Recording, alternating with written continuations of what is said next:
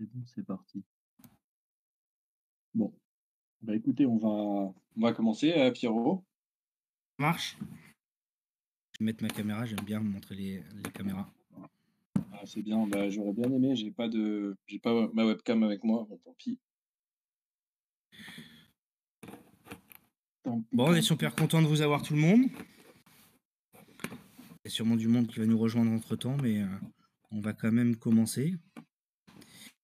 Euh, donc, euh, on va peut-être commencer par euh, se présenter vite fait. Bon, on se connaît tous, que je les connais tous sur le chat. Mais Hakim, tu peux vite fait, je pense, dire deux mots. Yes, bien sûr. Bah écoutez, déjà, bah, merci à tous là pour être avec nous ce soir, pour cette première AMA en français. On va essayer de, de répondre à, quelques questions principales qui sont posées par la commune ces derniers temps, régulièrement posées d'ailleurs sur, euh, sur nos Telegram ou sur Twitter. Donc on a essayé de sélectionner les, questions les plus pertinentes avec euh, une question euh, vraiment magique. On la gardera en dernière d'ailleurs. Mais, mais voilà, donc on va commencer. On va commencer peut-être par répondre aux 10 questions qu'on a sélectionnées, qu'on a considérées comme les plus pertinentes. Et puis ensuite, au, fil de l'eau et de la discussion, s'il y en a qui veulent prendre la parole, bah, n'hésitez pas à, demander sur le chat et, euh, et, poser vos questions en direct ou interagir avec nous. Voilà. Là, vous pouvez tout au fil de la, discussion euh, poser vos questions sur le, sur le, chat. On, je noterai toutes les questions et on les répondra. On vous donnera la possibilité aussi de prendre la parole si vous voulez. Euh, et voilà. Euh, bon bah écoutez, enchanté tout le monde. Donc moi c'est Pierre. Euh, je suis infirmier libéral de profession. Je suis dans la team Globis depuis euh, depuis euh, quatre mois maintenant. Et je suis principalement actif auprès de auprès des réseaux sociaux, auprès surtout de Telegram et de Discord. Et je suis un peu couteau suisse. J'essaie d'apporter ma patte un peu partout. Donc, concernant les questions, donc on a répertorié les questions sur trois endroits différents, qui étaient sur le canal Telegram, sur le Google Form et sur Twitter. Et on a sélectionné donc les dix premières questions. Euh, je pense qu'on peut déjà commencer par euh, euh, la question sur les logements. Comment, comment vont être choisis les logements? Comment seront répartis les gains dus au loyer?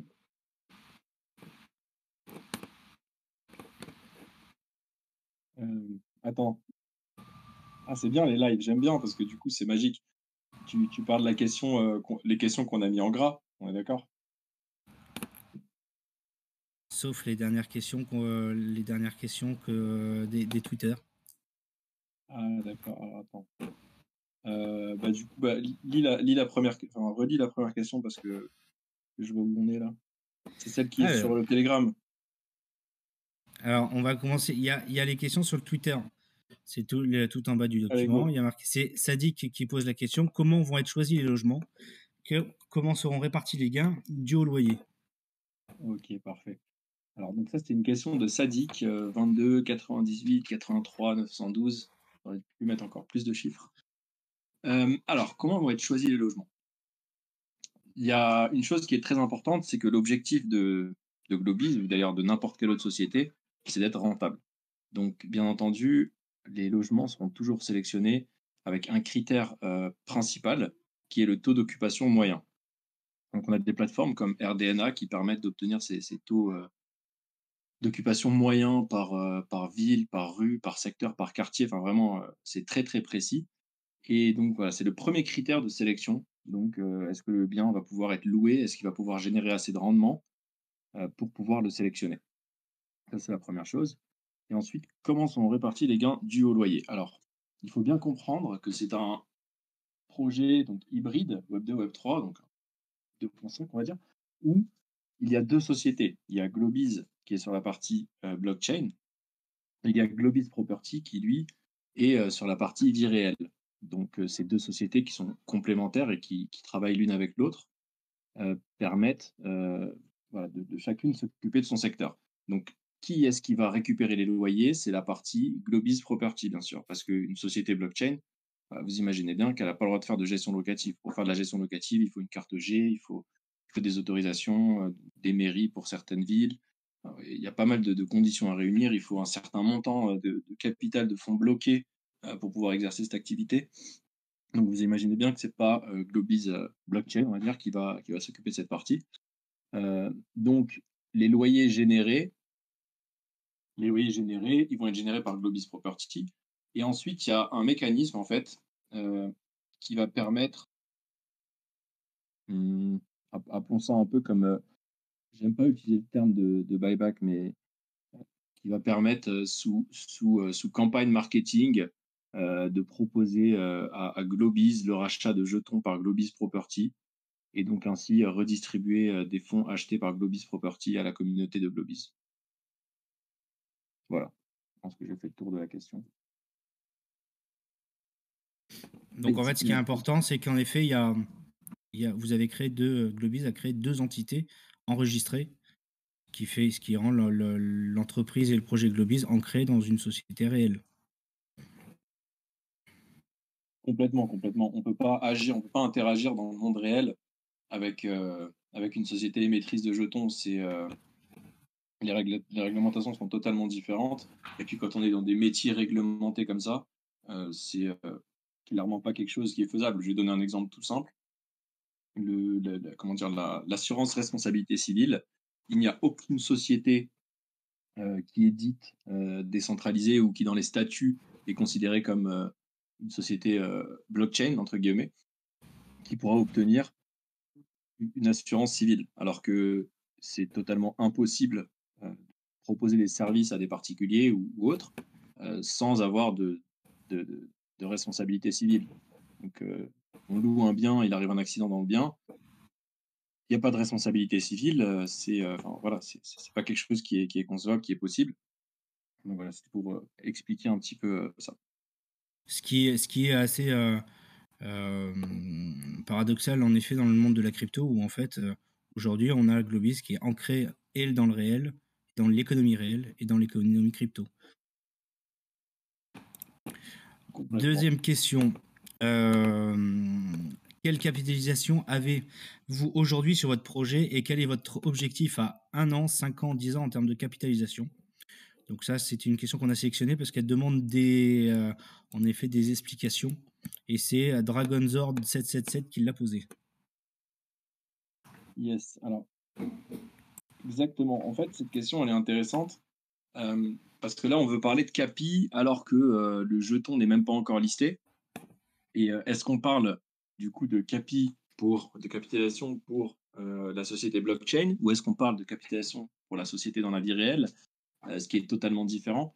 Aujourd'hui, tant que le jeton n'est pas listé, tant qu'il n'a pas un cours, on ne peut pas parler de, capitalisation. En effet, il y a eu des ventes privées, il y a eu une site, donc il y a des jetons qui ont été achetés à un prix, mais tant que la, vente n'est pas publique, tant que c'est pas listé, il n'y a pas de capitalisation officielle. Et euh, pour la partie vie réelle, euh, euh, c'est pas plus complexe, je dirais, mais c'est à peu près pareil. Demain, bon, on est en discussion avec de nombreux VC et, business angels aujourd'hui. allez, admettons que demain, Globis Property des, un tour de table où elle va chercher 2 millions, 3 millions pour son premier tour en, seed ou, en précide, je sais pas comment, comment ça sera appelé du coup par les VC, mais admettons qu'elle réussisse un premier tour de table de 2 ou 3 millions d'euros. Euh, là, on pourra commencer à parler de capitalisation pour cette société Globis Property. Pour le moment, Globis Property, c'est quoi? C'est une société qui a un capital social euh, de 1000 euros. Et euh, donc Globis a un capital social de 10 000 euros et Globis Property a un, capital social de 1000 euros. Donc pour l'instant, elles n'ont pas réellement de capitalisation. Euh, c'est une question pour laquelle on pourra répondre euh, un petit peu plus tard. Après, on peut parler d'objectifs. Euh, on peut parler d'objectifs. Et là, si on parle d'objectifs, on a comme objectif de, lister le jeton, d'avoir un launchpad, comme on avait dit, au, minimum à 6,5 centimes par jeton. je ne peux pas savoir combien de jetons seront vendus entre maintenant et le launchpad, mais on peut espérer, euh, on peut espérer une capitalisation au moment du launchpad entre, euh, entre 3 et 7 millions d'euros. C'est quelque chose qui serait euh, vraiment pas déconnant. Et pour la partie vie réelle, pour la partie vie réelle, il faudra attendre qu'on signe avec les VC et ça, je peux pas me permettre d'en dire plus pour l'instant. Et, sur 5 ans, 10 ans, bah écoutez, c'est très simple. Hein. Si demain, je déteste fabuler, mais si demain Globis va chercher 1, 2, 3% des parts de marché d'Airbnb, Airbnb c'est 70 milliards. Donc le calcul est, assez simple à faire, mais voilà, c'est pas tout de suite. Parfait. Et je pense qu'en effet, derrière cette question, il y avait la, question en effet des, des, différentes levées de fonds qui ont déjà été faites par la les privés de sale qui est actuellement en cours et les pré-sales précédentes. Euh, mais en effet, on est sur deux entités différentes qui est euh, la, vente de tokens et les levées de fonds qui sont deux choses euh, qui sont intrinsèquement liées mais différentes. La, chose que je peux rajouter peut-être, c'est on n'a pas encore annoncé combien, combien d'argent a été levé en seed. C'est volontaire. il y aura une annonce qui sera faite à la fin des deux ventes privées. Donc, il y a eu la seed, il y a la vente privée 1 en cours et la deuxième qui aura lieu d'ici quelques semaines. Euh, pas tout de suite. Euh, on, fera une, annonce, un communiqué de presse à la fin en, disant combien, et, combien Globis a levé euh, dans cette partie privée. on communiquera dessus. ce que vous, vous pouvez voir aujourd'hui, bah, c'est combien, combien Globis a, a, déjà réussi à, vendre en nombre de packs sur notre, notre application décentralisée. Ça, c'est la blockchain, c'est complètement visible. après, ce qu'il faut savoir, c'est que il y a aussi des investisseurs euh, extérieurs à Multiversix qui, sont dans le, qui, qui rentrent dans le projet. Donc, c'est des gens qui achètent des jetons, euh, on va appeler ça OTC, c'est-à-dire qu'ils euh, ils participent, ils participent en faisant des virements bancaires, bancaires pardon, directement sur le compte de la société. Et les jetons liés à ça seront déduits du, du, nombre de jetons en, vente. Mais ça n'a pas encore été annoncé. On attend d'abord on attend d'abord que, euh, que mmh. les fonds soient totalement sécurisés dans le monde. quand je dis sécurisé, c'est qu'on ait validé la transaction avec les investisseurs. Je l'avais, il est 9h30. Parfait. Euh, Cyril, euh, j'ai coupé ton micro, donc je le rallumerai quand tu l'auras coupé pour que ne fasse pas de bruit de fond. je pense qu'on peut enclencher sur une autre question qui se rapproche. C'est les investisseurs peuvent être inquiets quant au nombre de packs invendus, aussi important. Quelle est votre priorité? Rassurer les investisseurs ou vendre ces packs à de nouveaux investisseurs? On peut peut-être rappeler combien aujourd'hui? Vas-y. excuse-moi, vas-y, finis, finis, je t'en prie. On, pourrait peut-être faire un point sur euh, le nombre de sur cette privée de sale en cours. Donc rappeler que c'est en effet la fin, ce sera le 7. Donc c'est on a encore le temps. Euh, et que on peut euh, les packs, je te laisse prendre la main et dire que combien de packs ont été vendus actuellement. Ça marche. Alors avant de répondre, euh, merci, euh, merci Opium euh, d'être venu nous écouter. c'est vrai que d'habitude c'est dans l'autre sens. C'est moi qui viens sur tes lives. c'est marrant, c'est un, un, métier. Hein. Moi aussi. Je suis pas très à l'aise, mais bon, bienvenue en tout cas.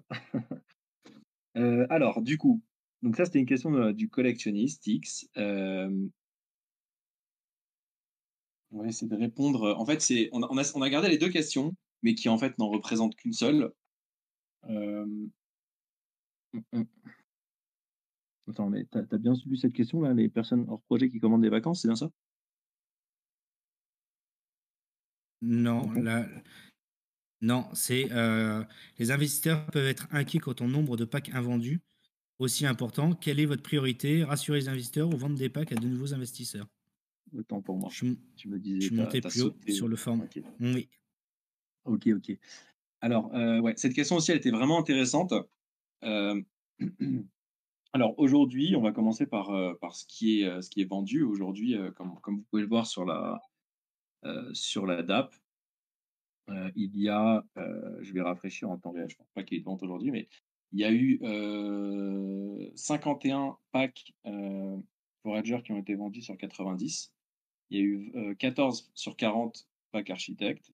Il y a eu 5 sur 15 qui ont été vendus pour les packs Warrior et 4 sur 5 pour les packs Queen. En l'occurrence, on, est déjà à à peu près 60% de, jetons vendus sur la vente, sans parler donc des promesses qui ont été faites au TC qui sont en attente de paiement aujourd'hui et, des discussions en cours avec de, nombreux autres investisseurs. Est-ce que tu peux préciser OTC peut-être parce que c'est pas commun à, tout le monde? En gros, en dehors du marché. C'est-à-dire qu'il y a des transactions qui se font on-chain et puis il y a des transactions qui se font en dehors du marché, pour expliquer ça vraiment simplement. donc, est-ce qu'il y a vraiment tant de packs invendus que ça? Ben non. En réalité, en réalité, on est, si je compte les promesses, on est déjà à, à plus de 70% de jetons vendus de ce qui était prévu. si on essaie de relativiser aussi on peut voir les, quelques projets qui ont, qui ont fait des ventes derrière. on va parler de gros projets. Hein. On peut regarder euh, Drifter avec Seraji ou on peut regarder, euh, on peut regarder qui? On peut regarder Coco.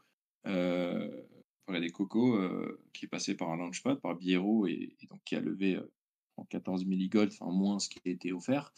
on peut regarder, on peut regarder Mafia avec les, bâtiments qui sont partis.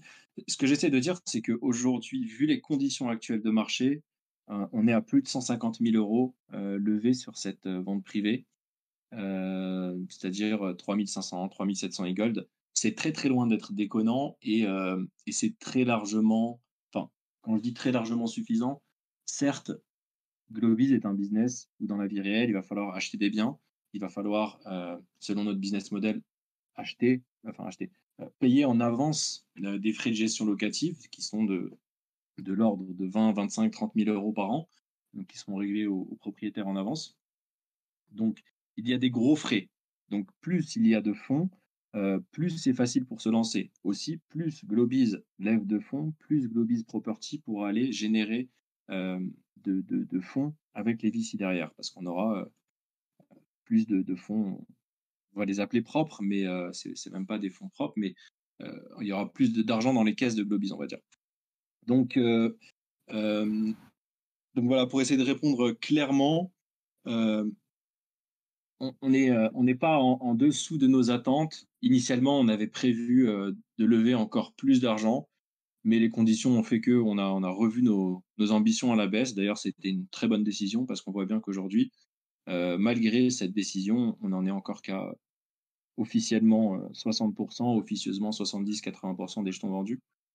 mais voilà, pour, je ne vais pas essayer de rassurer, ça ne sert à rien. On essaye de, construire et, de travailler. On a des, des, nos applications décentralisées, toutes les différentes versions qui sont déjà complètement designées et prêtes à être codées, mais on ne peut pas les coder tout de suite.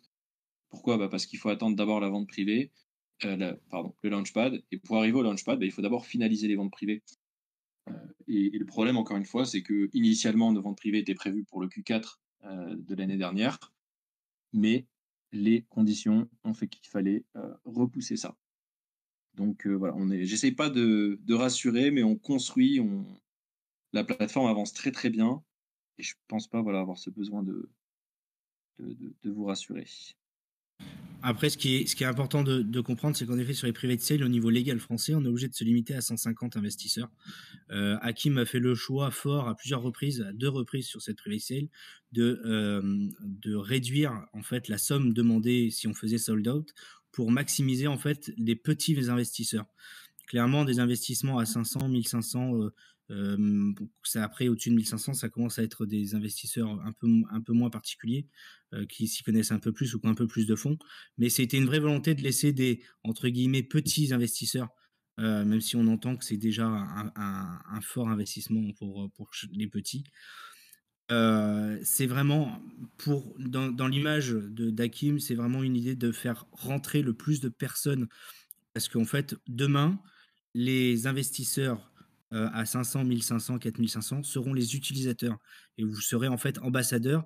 Vous aurez tout intérêt que la plateforme fonctionne, mais euh, on a tout intérêt, nous aussi, à vous faire rentrer aujourd'hui, vous faire connaître le projet pour que vous puissiez le faire découvrir. Et à plusieurs reprises, Hakim a décidé de réduire la somme voulue au maximal pour faire rentrer le plus de petits investisseurs possible. Et ça, c'est important de l'entendre parce que c'était un choix fort à deux reprises.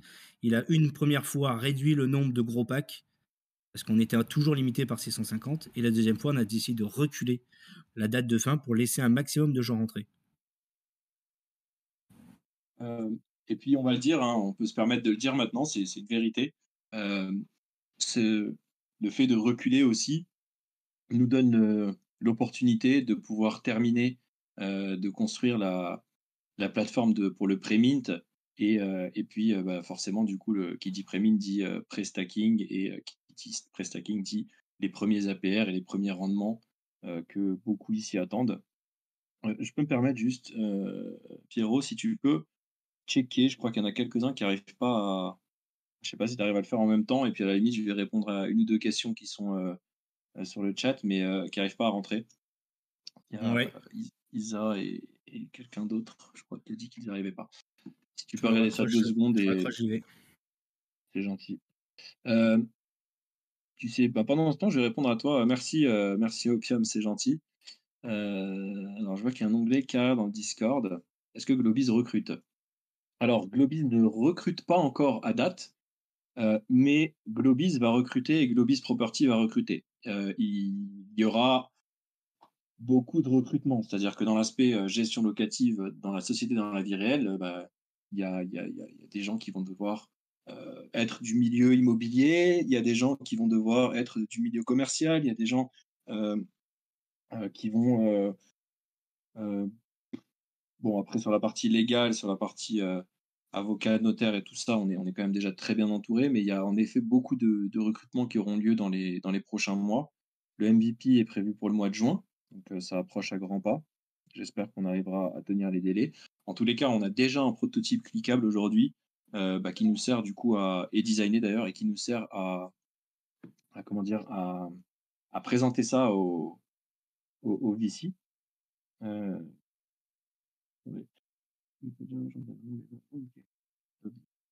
Ma Pierrot, il est plus là il n'est plus là, je ne peux pas lui dire. Euh, donc voilà, il y aura beaucoup de recrutements qui sont, prévus dans le temps et ça sera annoncé au fur et à mesure dans, le Discord. Alors, Ries, serait-il possible de réserver pour une tierce personne euh, stacking de NFT, reward de billes Alors, Ries a posé plein de questions euh, et d'ailleurs, il y en a qui ont été sélectionnés pour lesquels bah, du coup on va répondre. si tu veux, je reviendrai sur sur tes questions du coup après parce que il y en a une parmi celles-là à laquelle je vais répondre. Et puis j'attends que Pierrot revienne pour reprendre ça. Euh, ensuite, euh, Xenops, 167 membres sur Telegram France n'est pas beaucoup. Il faut pas d'abord étoffer la communauté avant d'imaginer une vente privée 2, une commune, ça prend du temps à construire. Euh, complètement. Complètement. Si aujourd'hui on n'arrive pas à vendre tous les packs prévus dans la vente privée 1, certainement il y a une histoire de montant. Mais si on n'arrive pas à vendre tous les packs sur la vente privée 1, on risque pas d'aller de, sold out les packs sur une vente privée 2 qui arriverait dans deux semaines. Donc, euh, l'objectif, il est clairement de continuer à construire la communauté. On se laisse le temps jusqu'au 7 mai pour finaliser cette vente. Et derrière, euh, il y a des grosses news qui vont arriver. Vous avez déjà pu voir avec, avec la BPI, avec la bourse French Tech. Euh, il y a Multiverse NFT qui nous a tagué et d'ailleurs aussi euh, euh, Vivatech euh, pour notre présence future sur le salon. Voilà, donc il y a des grosses choses qui sont en train de se dessiner. mais on va se laisser, on va laisser le temps au temps, comme on dit, avant de lancer cette vente privée 2. Donc voilà, bah, Reyes, encore toi, je peux pas répondre à ces questions parce qu'il y en a qui sont sélectionnés, mais ça va venir. T'inquiète, dès que Pierrot revient. Ah, quand prévoyez-vous les premiers contrats d'arbitrage? Les négociations sont-elles déjà en cours? Euh, Je me demande si. Euh, on n'a pas prévu de répondre à cette question, mais je vais, je vais en dire deux mots déjà. Euh, alors, il y a déjà des biens qui sont prévus pour être intégrés à, la plateforme dans le cadre de la gestion locative dès le lancement du MVP. C'est déjà, déjà acté, c'est déjà validé, c'est déjà négocié c'est des biens en toute transparence de, proches, de proches à moi, histoire que bah, vous imaginez bien que je ne peux pas demander à un, client lambda de, de me faire confiance, de me donner son bien et, et, puis on verra, tu seras payé un jour. Là, c'est vraiment des gens, de, des, gens proches qui sont en mesure de me dire tiens, Hakim, je te fais confiance, c'est aussi des, amis qui ont investi eux-mêmes dans des jetons alors qu'ils n'ont rien à voir avec l'écosystème Multiversix. Et donc, ils sont en mesure de me dire, bah, tiens, le bien, avance et ça permet d'avoir les premières offres disponibles sur le site. Et, et, donc les négociations en cours. Alors oui, il y a des négociations, mais beaucoup plus traditionnelles, on va dire, qui sont en cours avec des gros organismes français, avec des grosses agences françaises, pour aller chercher du volume en matière de, gestion logistique, en, pardon, en matière de gestion locative. Donc ça, c'est quelque chose dont je pourrais parler prochainement. Je déteste parler d'un truc que qui n'est pas encore signé, donc non pas parce que je suis, j'ai peur que ça ne se fasse pas ou, autre, mais voilà, je préfère annoncer quelque chose de, réel plutôt que d'en parler avant. Alors j'arrive en cours de route, mais pour l'instant, vous avez déjà choisi le prestataire. tu veux que je sois transparent, Opium C'est le, prestataire qui te choisit. Donc on est en discussion aujourd'hui on est vraiment en discussion avec les deux principaux Launchpad, mais il n'y a rien d'officiel, même rien d'officieux. la seule chose que je peux dire, c'est qu'on est encore en discussion. avant d'en arriver à, une validation, il faut un état des lieux des investisseurs, il faut un état des lieux de la DAP, il faut un état des lieux de la plateforme. Il y a, énormément de choses. C'est quand même un. Tu vois, je parler de X-Launchpad par exemple c'est quand même un tremplin de fou pour le projet qui pourrait y accéder. Donc, ils vont pas laisser rentrer n'importe qui, ce qui est d'ailleurs totalement, totalement logique. Donc, on travaille pour et puis on, espère avoir une bonne news à vous annoncer. Coming soon. ah, t'es de retour. Euh, donc, j'ai pas répondu aux questions de, de Reyes, Pierrot, parce que du coup, bah, tu sais, on en a sélectionné euh, dans nos questions, donc euh, je lui ai dit qu'il fallait qu'il attende. Donc, on va reprendre, on va reprendre sur, le, sur les questions. Tu es là? Oui, je suis en train de regarder les questions. Alors, il y avait la question sur avez-vous le minimum de avez-vous besoin d'un minimum de fonds pour supporter le projet? Et est-ce que la private sale euh, vous suffit euh, à l'achever ou euh, à l'achever ou est-ce qu'il vous faut d'autres investisseurs? Alors c'était EP442 qui a posé sa question en anglais et Pierrot a pas voulu parler anglais. C'est juste que je peux le faire en anglais, mais déjà que mon accent, il est, déjà que j'écorche les gens, ça. Non, mais ça va aller, c'est gentil. Euh, c'est gentil. Donc, euh, moi aussi, euh, moi aussi, c'est très difficile pour moi l'anglais, mais c'est vrai qu'il faut. C'est un effort qu'on est obligé de faire aujourd'hui, la communauté, les investisseurs, les, les, utilisateurs, la communauté, tout simplement. Elle parle anglais, et donc c'est un effort qu'on doit faire, même si. même si là, on fait ce premier MA en français, histoire de, marquer des choses et de dire que pour nos petits Frenchies, on, fait passer tout ça en priorité. Alors, euh, donc, est-ce que vous avez prévu un fonds pour supporter le projet? Alors, euh, le minimum qui était prévu euh, au lancement de et, qui avait été décidé, c'était 200 000 euros. En dessous de 200 000 euros, on n'aurait pas pu continuer le projet. Rapproche-toi du micro, Hakim, on t'entend pas. Ah, oups, c'est mieux là? Oui. Ok, d'accord, mais je croyais que c'était dans mes iPads et en fait, c'était pas dans, dans mes bref, dans mes écouteurs. Ok, c'est l'ordi. Euh, alors, je disais, je recommence du coup, j'imagine qu'on n'a pas entendu. Rien du tout. ok, je disais, euh, initialement, on avait prévu un minimum de 200 000 euros à l'époque de la CID, donc on parle de l'été dernier. Euh, un minimum de 200 000 euros pour pouvoir commencer ce projet. Et si cet argent n'avait pas été levé, alors, il y avait deux options. Soit il, aurait fallu abandonner le projet euh, et, rembourser tous les investisseurs, soit il aurait fallu trouver d'autres fonds ailleurs. Euh, j'ai investi plusieurs dizaines de milliers d'euros euh, de ma poche dans ce projet pour le lancement de la société. je ne dis pas que, que, que, j'en rajoute pas constamment, mais c'est vrai qu'à un moment, il faut se poser la question est-ce que je vais dans le mur? Il faut être capable de, couper. Enfin voilà, si, si, rien ne va, si ça marche pas, si ça prend pas, en tant qu'entrepreneur, il faut être capable de se dire que bah, mon idée, elle est peut-être pas si cool, il vaut mieux en arrêter là et stopper l'hémorragie. Donc ça n'a pas été le cas. On a très largement dépassé ces 200 000 euros. du coup, entre, je parle entre la CID et, et, la vente privée de maintenant, on est très largement au-dessus. Donc on a très largement, encore une fois, suffisamment de fonds pour continuer à avancer et continuer à construire, sachant que il faut aussi, faut aussi bah, c'est peut-être des sujets sur lesquels tout le monde n'est pas au courant, mais je vais, je vais, en, profiter pour en parler. La bourse French Tech, c'est une subvention ah. d'un maximum. Quelqu'un m'a dit un truc? M'a dit quelque chose? Non. Je disais, la bourse French Tech, la bourse, la bourse French Tech, c'est une subvention en fait d'un maximum de 30 000 euros qui est attribuée aux projets innovants. et donc qu'on a obtenu. Donc ici, c'est même pas une, un crédit ou je sais pas quoi. C'est non, non, non, non, non, je suis justement présent. C'est je sais pas comment on fait pour mute. C'est vraiment une, donc une subvention. Voilà, c'est, on nous a donné 30 000 euros pour nous dire allez les amis, continuez, on a confiance en vous. Euh, ce qu'il faut savoir aussi, c'est que derrière, il y a une vente privée 2 qui arrive. La vente privée 1 n'est pas finie. Et surtout, dans, dans, deux mois, on a la prochaine réunion avec la BPI pour la poursuite des discussions euh, sur des montants beaucoup, beaucoup plus conséquents cette fois. Euh, on doit juste présenter tout ce qu'on a prévu de, euh, de, sortir d'ici la, la, prochaine réunion. Et, puis, bah, très honnêtement, en fait, euh, tout ce qu'on a prévu de sortir est, est, fini à, à 95%. On aura fini d'ici la mi-mai. Euh, donc, on a un mois d'avance sur les dates prévues avec. avec Peux-tu expliquer BPI Parce que je pense que BPI, ça parle ah pas à ceux qui ne buillent pas des projets. Est-ce que tu, tu veux jouer qui? Tu veux jouer qui tu veux, moi Tout le monde est muté là. Qui parle? Ok.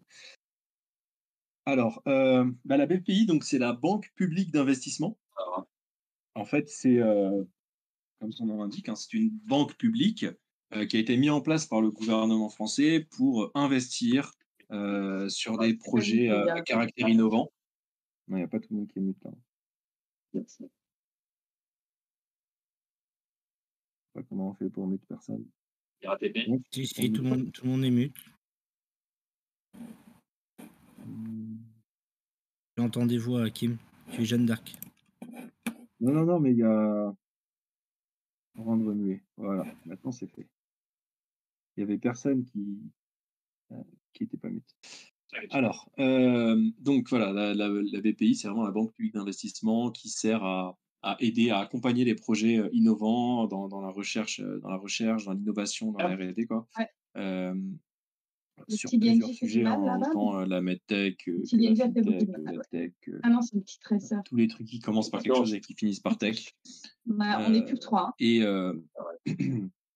et c'est vrai qu'on a la chance d'avoir d'avoir ça en France. Un seul de nos deux DPS en vérité. public qui vient pouvoir nous, nous baquer, qui vient pouvoir nous donner un petit coup de pouce dans un moment où on peut en avoir besoin. Certes, il faut faire ses preuves, certes, les dossiers sont très longs. Je suis en discussion depuis le mois de juillet dernier avec les BPI, avec le premier déblocage qui a eu lieu il y a oh. maintenant 4 jours. Oh putain, Quelque chose comme ça en début de semaine. et, puis une fois que tu es rentré, ça devient plus facile et puis les portes s'ouvrent au fur et à mesure. Ce qui est important de comprendre pour tout le monde, c'est qu'en fait, on globise entre des portes au fur et à mesure, et au fur et à mesure, les portes sont de plus en plus grandes. Euh, on est, on est en, euh, en cours de, participation à, pour essayer d'aller à la Vivatech. On a, on a été à NFT Paris. Euh, y a, on nous ouvre en fur et à mesure de plus en plus de portes. Et Hakim s'acharne en effet à aller, à aller toquer au maximum de portes. Et l'accueil est pour l'instant très, très bon, mais, mais il peut pas tout annoncer. Euh, parce que c'est quelqu'un qui est très qui ne, ne, communique que quand c'est officiel et validé. Donc, euh, donc voilà, je pense qu'on peut faire une dernière question euh, sur la pré la sale la private sale actuelle, et ensuite on enchaînera sur le fonctionnement peut-être de l'application et du projet plus tard, parce qu'il y a pas mal de questions aussi dessus. Hein, donc il y avait quelle est la différence entre l'achat d'un pack architecte ou l'achat de trois packs forager Donc pour rappel, on a, un, on a un ratio de 3 entre chaque pack. Le premier est à 500 euros, 1500, 4500, 13500. Donc il y a toujours un rapport de 3. Donc la question c'est est-ce que ah, mieux vaut acheter un, 3 fois un petit ou, euh, un Yes, on a décidé de répondre à cette question parce que c'est vrai que c'est. Euh, ça, ça peut porter à confusion, donc c'est bien de pouvoir le réexpliquer. En fait, quand on achète un pack, on achète un nombre de jetons. C'est-à-dire que le pack, comme vient de dire Pierrot, le pack Forager à 500 euros représente 20 000 jetons.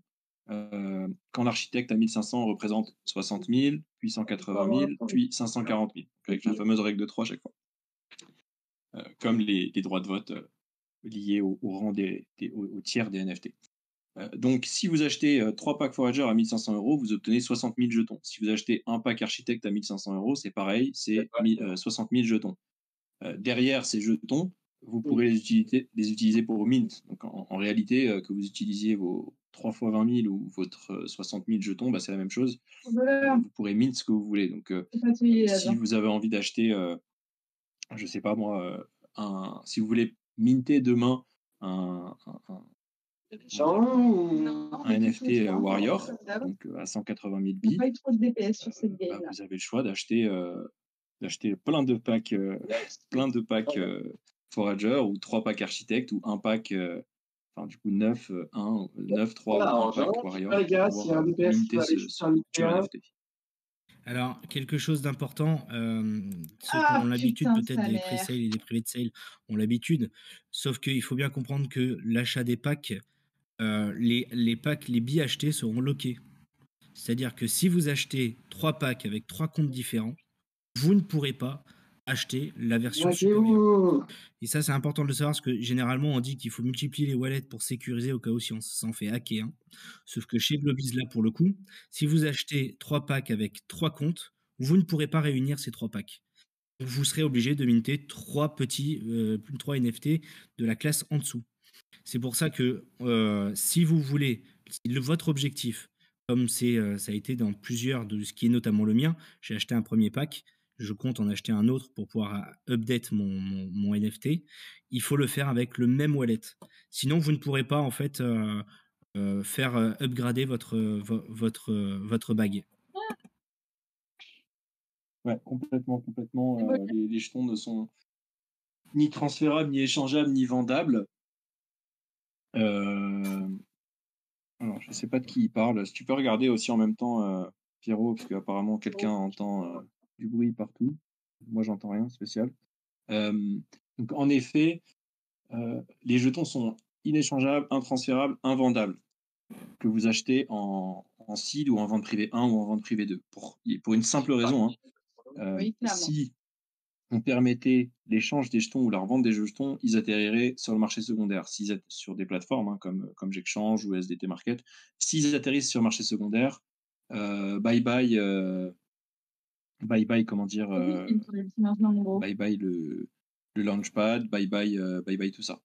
Donc c'est une obligation. Donc les jetons qui sont achetés dans ces différentes phases de private euh, vont directement dans le smart contract, sont liés à une adresse ERD et seront débloqués au fur et à mesure à partir de la fin du cliff, donc à partir de la vente publique.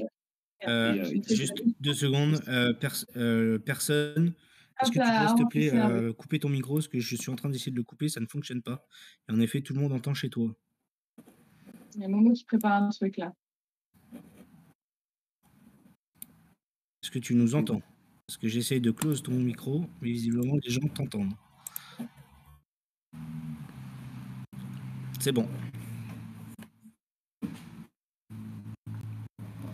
C'est tout bon?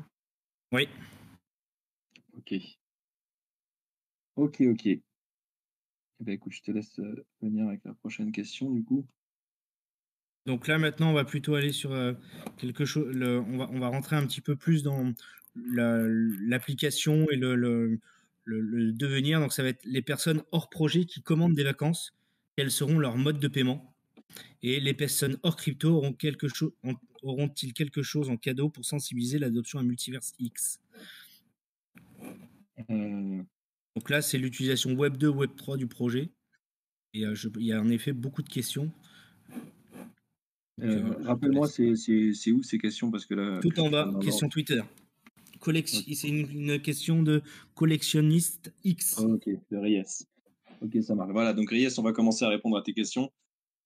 les questions 3 et 4 que tu as, que as citées, elles sont assez pertinentes. Et, du coup, mais c'est un peu la même, Un peu la même question posée différemment, et donc je vais répondre à cette question.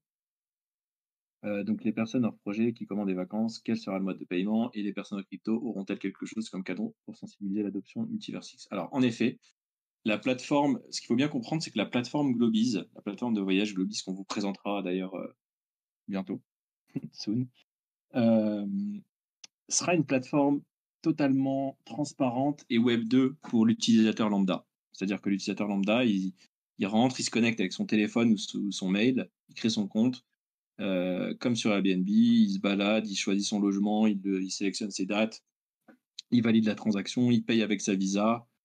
Euh, voilà, il n'y a vraiment rien de Web3. Par contre, il va y avoir la possibilité à un utilisateur avancé de venir, de venir linker euh, son wallet Multiversix avec notre plateforme, avec le, le wallet Connect traditionnel. Et une fois que ce wallet est linké, on va venir euh, déployer des nouvelles features, des nouvelles euh, options sur la plateforme. Et donc là, l'utilisateur avancé aura accès à son NFT, au rang de son NFT, aura accès au stacking, à ses rewards, qui pourra directement utiliser sur la plateforme, c'est-à-dire aller mint euh, sa semaine de vacances grâce à ses rewards, ou aller pouvoir claim directement sur la plateforme Web2 ses récompenses.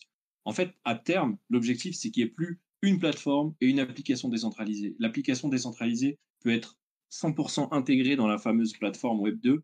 Euh, euh, et, donc, du coup, tout utilisateur qui lit son, wallet Multiversix aura directement accès à toutes les features liées euh, à ces NFT.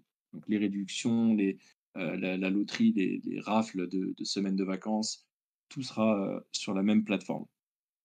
Et, et puis, donc, dans la continuité de la question, je vais expliquer quelque chose qui est assez euh, intéressant comme procédé et qui n'est pas encore euh, appliqué aujourd'hui dans l'écosystème, mais que, qu'on a mis euh, en place chez Globiz. Alors, on va la faire simple.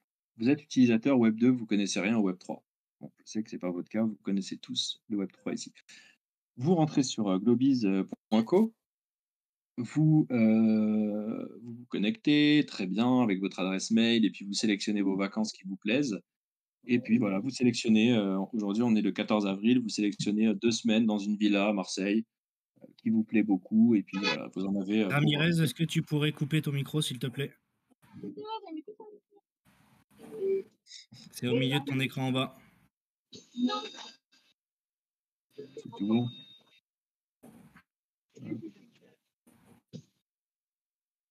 Est-ce qu'on l'entend toujours? Je pense pas. Non, mais c'est bon. En fait, j'ai trouvé comment on fait pour euh, muter. Euh, je peux muter. Je les moi. je les mute aussi, mais il y en a qui continuent à les entendre.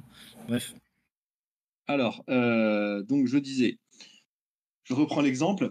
On est en avril, vous, vous réservez vos deux semaines de vacances en tant qu'utilisateur Web 2 standard en août. Très bien. Vous payez 4000 euros c'est un exemple, hein, on s'en fiche du prix. Euh, vous payez 4000 euros et euh, vous partez en vacances, vous profitez de vos séjours, vous kiffez la villa euh, Globiz, labellisée. Tout est au top, vous revenez de vacances, pas de soucis, et puis les mois passent. Six mois après, un an après, vous allez recevoir un mail vous disant depuis votre dernier voyage, vous avez cumulé 100, 200, 300 euros de récompense.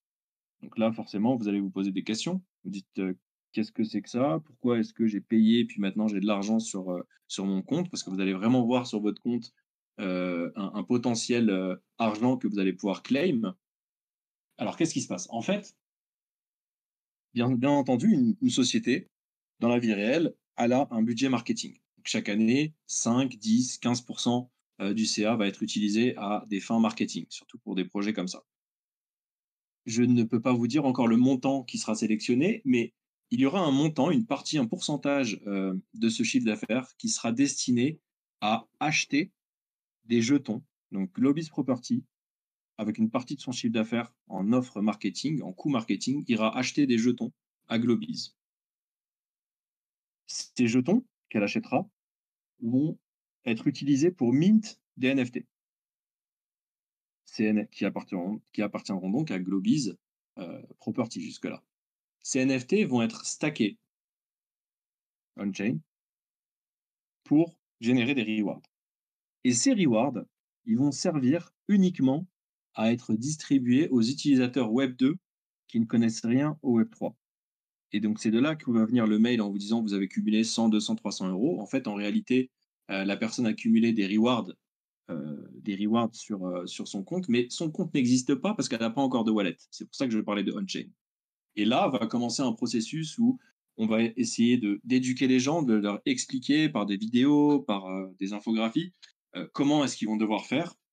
Donc, on va lui dire, bah, tu vas sur Multiversix, tu crées ton wallet. Une fois que tu as créé ton wallet, tu vas le lier à ton compte web de standard. Et dès que ça sera fait, tu vas pouvoir claim tes rewards.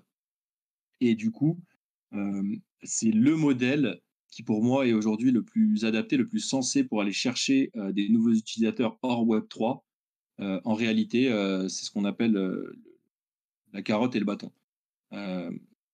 c'est peut-être un peu dur dit comme ça, mais les utilisateurs n'aiment pas trop changer leur, leur manière de vivre, leurs habitudes. par contre, si tu proposes à un utilisateur de l'argent, tu lui proposes une récompense euh, réelle, tangible, qu'il va pouvoir utiliser pour se payer ses prochaines vacances, là, ça va l'intéresser, là, ça va lui parler, et là, il va aller faire l'effort euh, pour intégrer euh, le, ce, cet écosystème hybride Web 2, Web 3. C'est exactement ce qu'utilisent les grandes surfaces entre eux pour essayer d'attirer. Hein. ils viennent chez eux, ils, viennent chez eux que si le consommateur a l'impression qu'il a plus à gagner à venir, à venir chez lui. C'est euh, une stratégie qui fonctionne euh, déjà dans tout le monde du commerce. Donc, euh, donc ouais, c'est très bien expliqué. Bah, merci beaucoup. Même moi, j'ai j'ai apprécié. On peut continuer notamment sur, pareil, une question sur, sur l'application. alors, bonjour à tous et bravo. j'ai pas compris sur le white paper. Euh, exactement le terme de système hybride arbitrage des biens. Il faudrait couper les micros, euh, s'il te plaît. Trouver comment faire. C'est bon, c'est bon, c'est bon. Ok. Euh, alors. C'est système hybride d'arbitrage de biens. Hmm, je vais essayer d'expliquer ça le plus simplement possible. Euh, si je décide d'acheter un bien euh, admettons, à 500 000 euros. Bon, bah 500 000 euros, c'est quand même beaucoup d'argent. Si et j'ai qu'un seul bien de disponible à louer, donc seulement 52 semaines de disponible par an. Si maintenant, je décide de faire de la gestion locative, donc ce qu'on appelle arbitrage, et peut-être qu'il faudrait que ça soit un petit peu revu dans la langue française, mais ce qu'on appelle arbitrage de biens, ça c'est de la gestion locative pour compte de tiers. Euh, si je vais chercher, admettons qu'une personne loue son bien 1000 euros par mois, euh, sur une année, sur 12 mois, ça fait 12 000 euros. Euh, ou allez, admettons même que cette personne le loue à 2 000 euros par mois, sur 12 mois, ça fait 24 000 euros.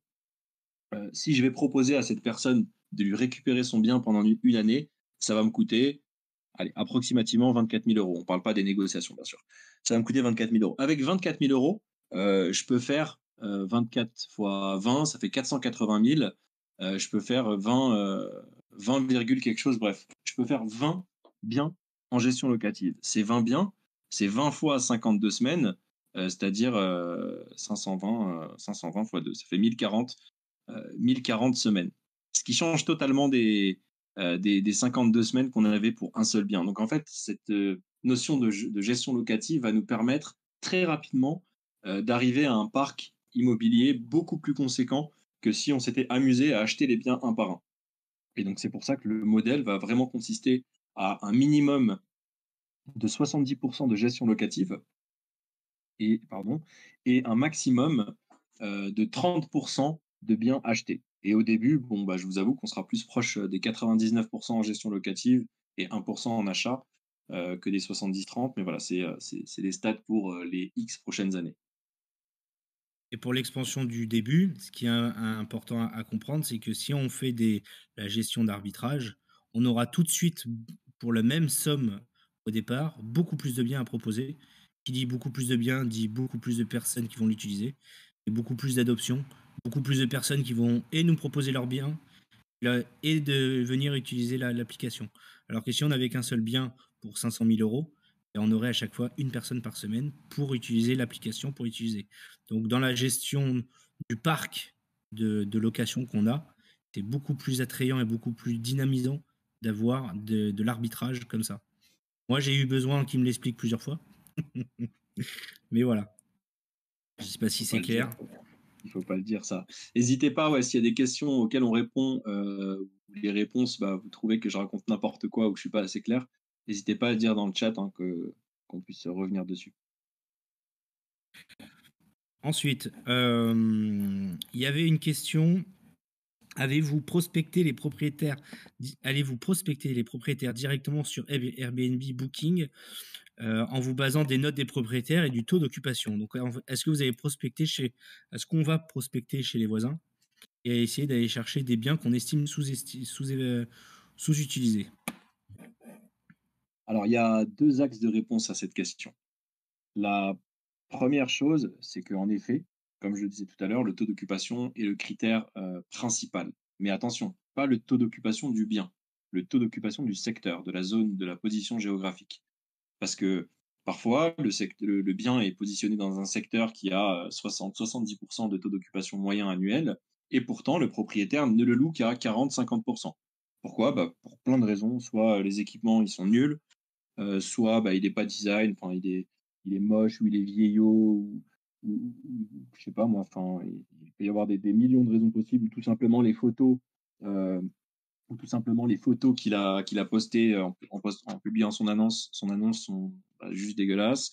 Euh, potentiellement, euh, ça peut aussi être euh, euh, comment dire, ça peut aussi être des, des mauvaises notes qu'il aurait reçues de par quelqu'un parce que bah, il, a, il a mal géré une remise des clés ou il a, il a pas réussi à effectuer le ménage entre euh, sa, gestion, euh, comment dire, sa conciergerie a été mal faite entre deux, euh, entre deux locations. Et donc, voilà, ce qui a impliqué une note négative, enfin une mauvaise note, et euh, les gens n'ont plus trop envie d'y aller. Ça fait baisser euh, directement le, taux d'occupation moyen parce qu'on n'a pas envie d'aller dans un truc où d'autres gens qui sont partis en vacances disent Bah non, c'était nul, euh, il y avait des toiles d'araignée partout, il n'y avait pas de machine à café, le lit, j'avais mal au dos, j'ai passé une semaine, je suis revenu avec un lumbago.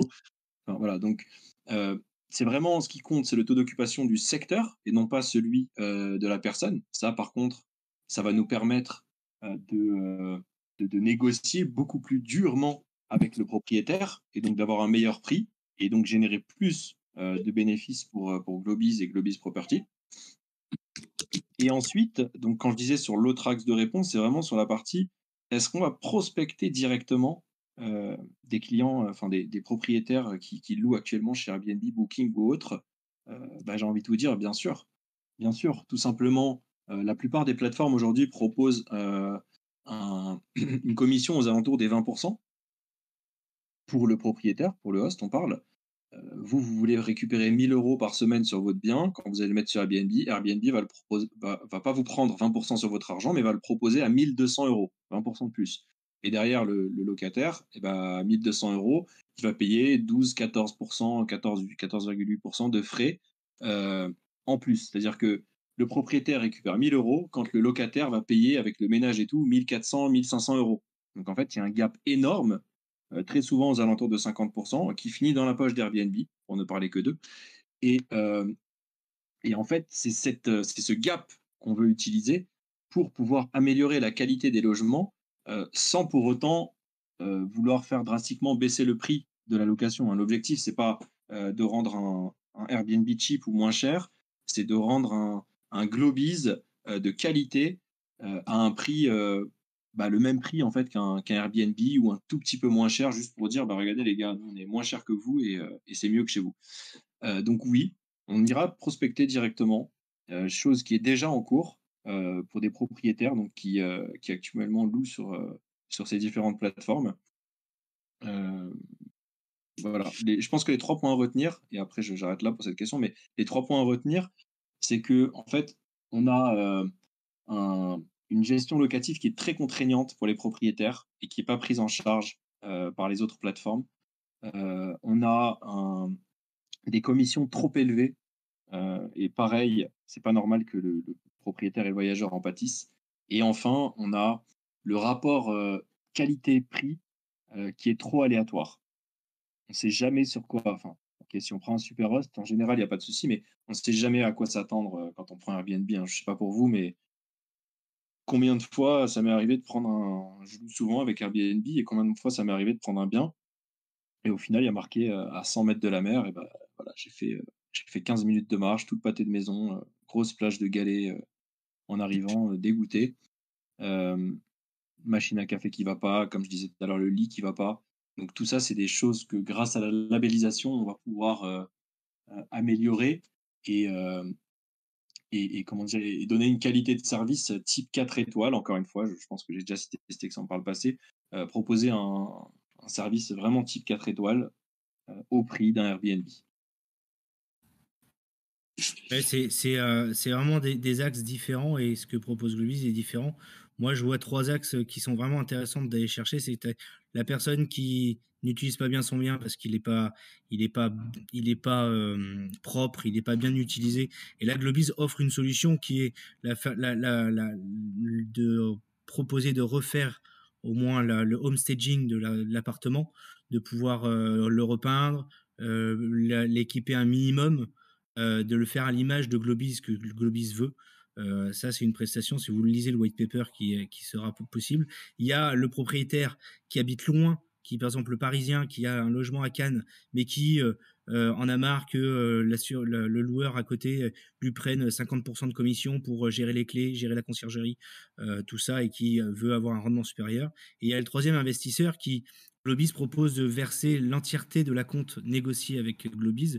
Imaginons que vous négociez 25 000 euros sur l'année. Vous avez les 25 000 euros dès le premier jour de la signature du contrat avec Globis. C'est-à-dire que au bout de 12 mois, ou de 13 en fonction de la formule que vous allez prendre, vous allez avoir deux ans de loyer. Et avec 50 000 euros, vous, avez déjà au bout de, de un an et un jour deux ans de, de 50 000 euros pour investir pour un prochain bien. Et c'est vraiment les trois. Les...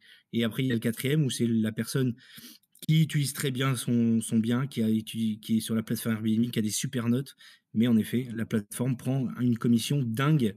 Euh, et donc là, Globis a son mot à dire. Et, euh, et on lui dit, bah, tu auras la même chose, voire mieux, pour, euh, pour plus d'argent au final dans ta poche, sans que le loyer, en final, soit plus cher. Sans que pour le consommateur. Donc c'est vraiment les quatre mois qui me séduisent moi dans, dans Globiz. Et c'est vraiment les axes qui sont assez faciles à aller chercher et qui peuvent répondre en fait aux utilisateurs de Globiz.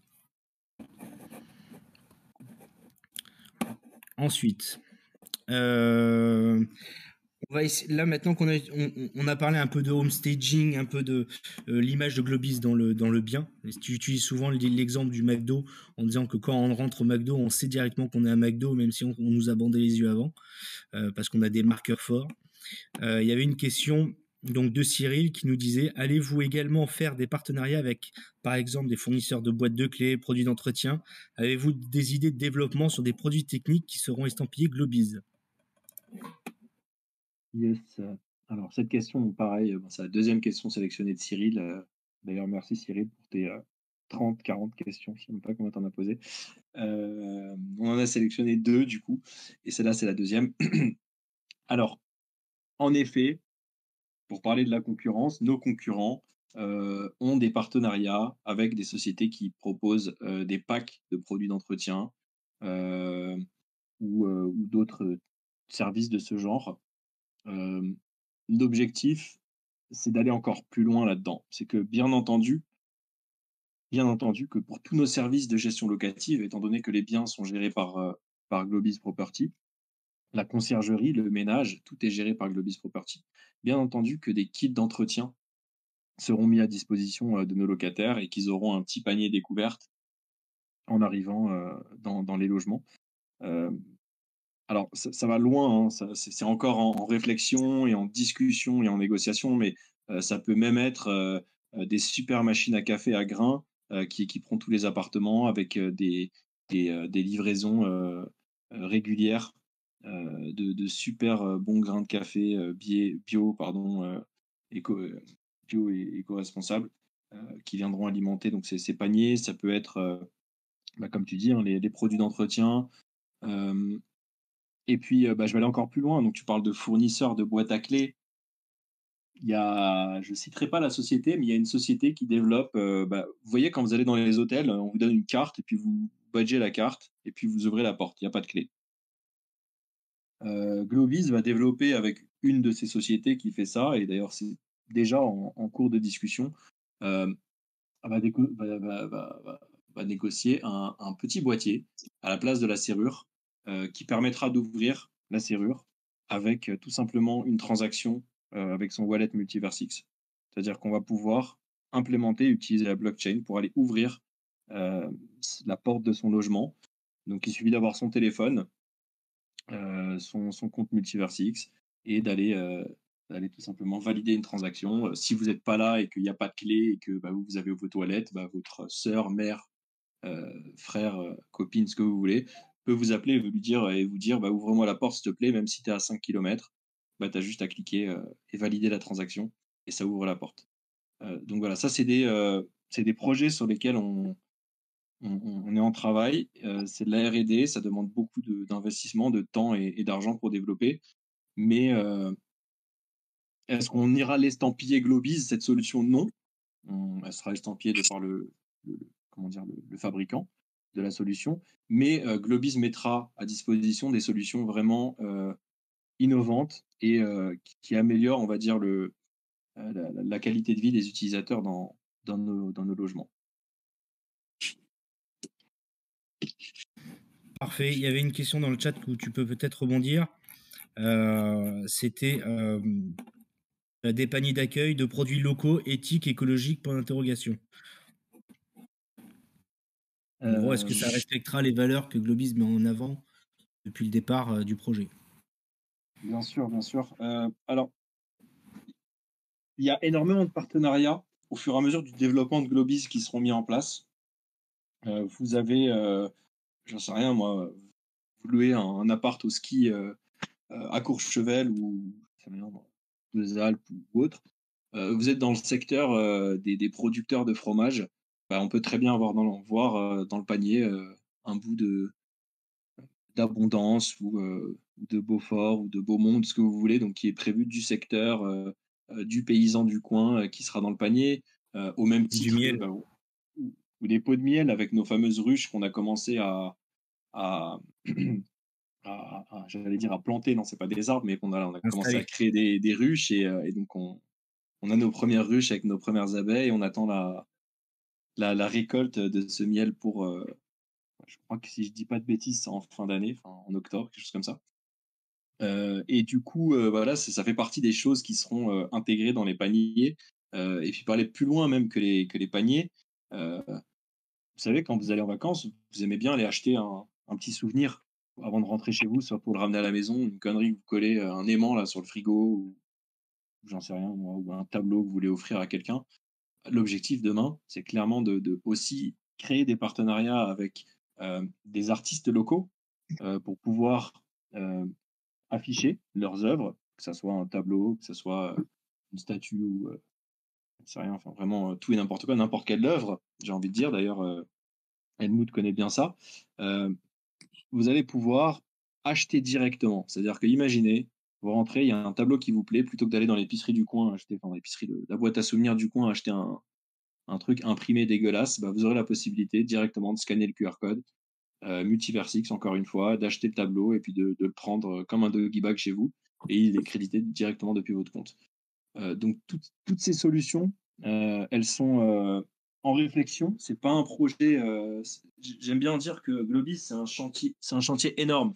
On a devant nous euh, des milliers de possibilités.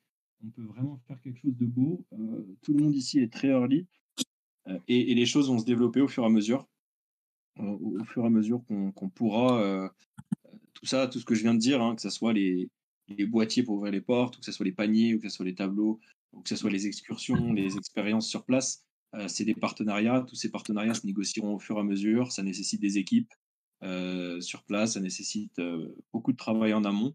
Euh, donc c'est pas quelque chose qu'on va voir demain, euh, mais c'est un objectif à moyen terme, en tout cas, d'appliquer toutes ces solutions à nos futurs logements. Et c'est les certes Globis est là pour faire de l'argent et on, on se cache pas sur le fait qu'on est là pour se faire de l'argent. Par contre, les valeurs euh, écologiques, éco-responsables, sociales, euh, impact sur l'environnement euh, sont des conducteurs, des fils conducteurs qui nous suivent et qui nous suivront, notamment dans le choix euh, des, artisans pour euh, lorsqu'on aura nos logements propres en fond euh, chez Globis pour faire des modèles de logements idéaux sur le marché. Tout ça, c'est des, valeurs qu'on portera et qu'on porte déjà euh, pour tous les projets, toutes les décisions qui sont prises. On va pas aujourd'hui prendre en effet, euh, Kim va pas décider d'aller signer, euh, euh de faire un logement pour de la rentabilité avec une, isolation pas bonne. tout ça pour, pour faire du chiffre. On est là pour faire de l'argent, mais on est là aussi pour respecter les valeurs qu'on a mis en avant depuis le début. Et c'est pour ça que Hakim et le projet Globis, depuis le début, ont accepté de prendre le temps et ont accepté parfois de que, les gens aient l'impression que ça aille pas vite euh, pour que les choses se fassent bien. Et c'est vrai que c'est particulier dans le monde de la crypto où tout va, où tout va vite, mais parfois il faut accepter, accepter de perdre du temps pour construire quelque chose de solide et éviter de revenir en arrière. Mmh, mmh. Si je peux rajouter un petit truc d'ailleurs sur le sujet euh, euh, de la durabilité et des co-responsabilités. Bon, bah, comme, comme on a parlé tout à l'heure, et tu, l'as bien dit, la partie home staging qui va consister un peu euh, entre guillemets, à, du greenwashing. Ok, c'est cool, tu prends une peinture écolo. Ok, c'est cool, tu prends euh, euh, du mobilier recyclé. Bon, c'est déjà un peu moins greenwashing, mais c'est super. mais on va aussi pousser ça beaucoup plus loin, c'est-à-dire que on va accompagner les propriétaires dans la rénovation énergétique de leurs biens demain.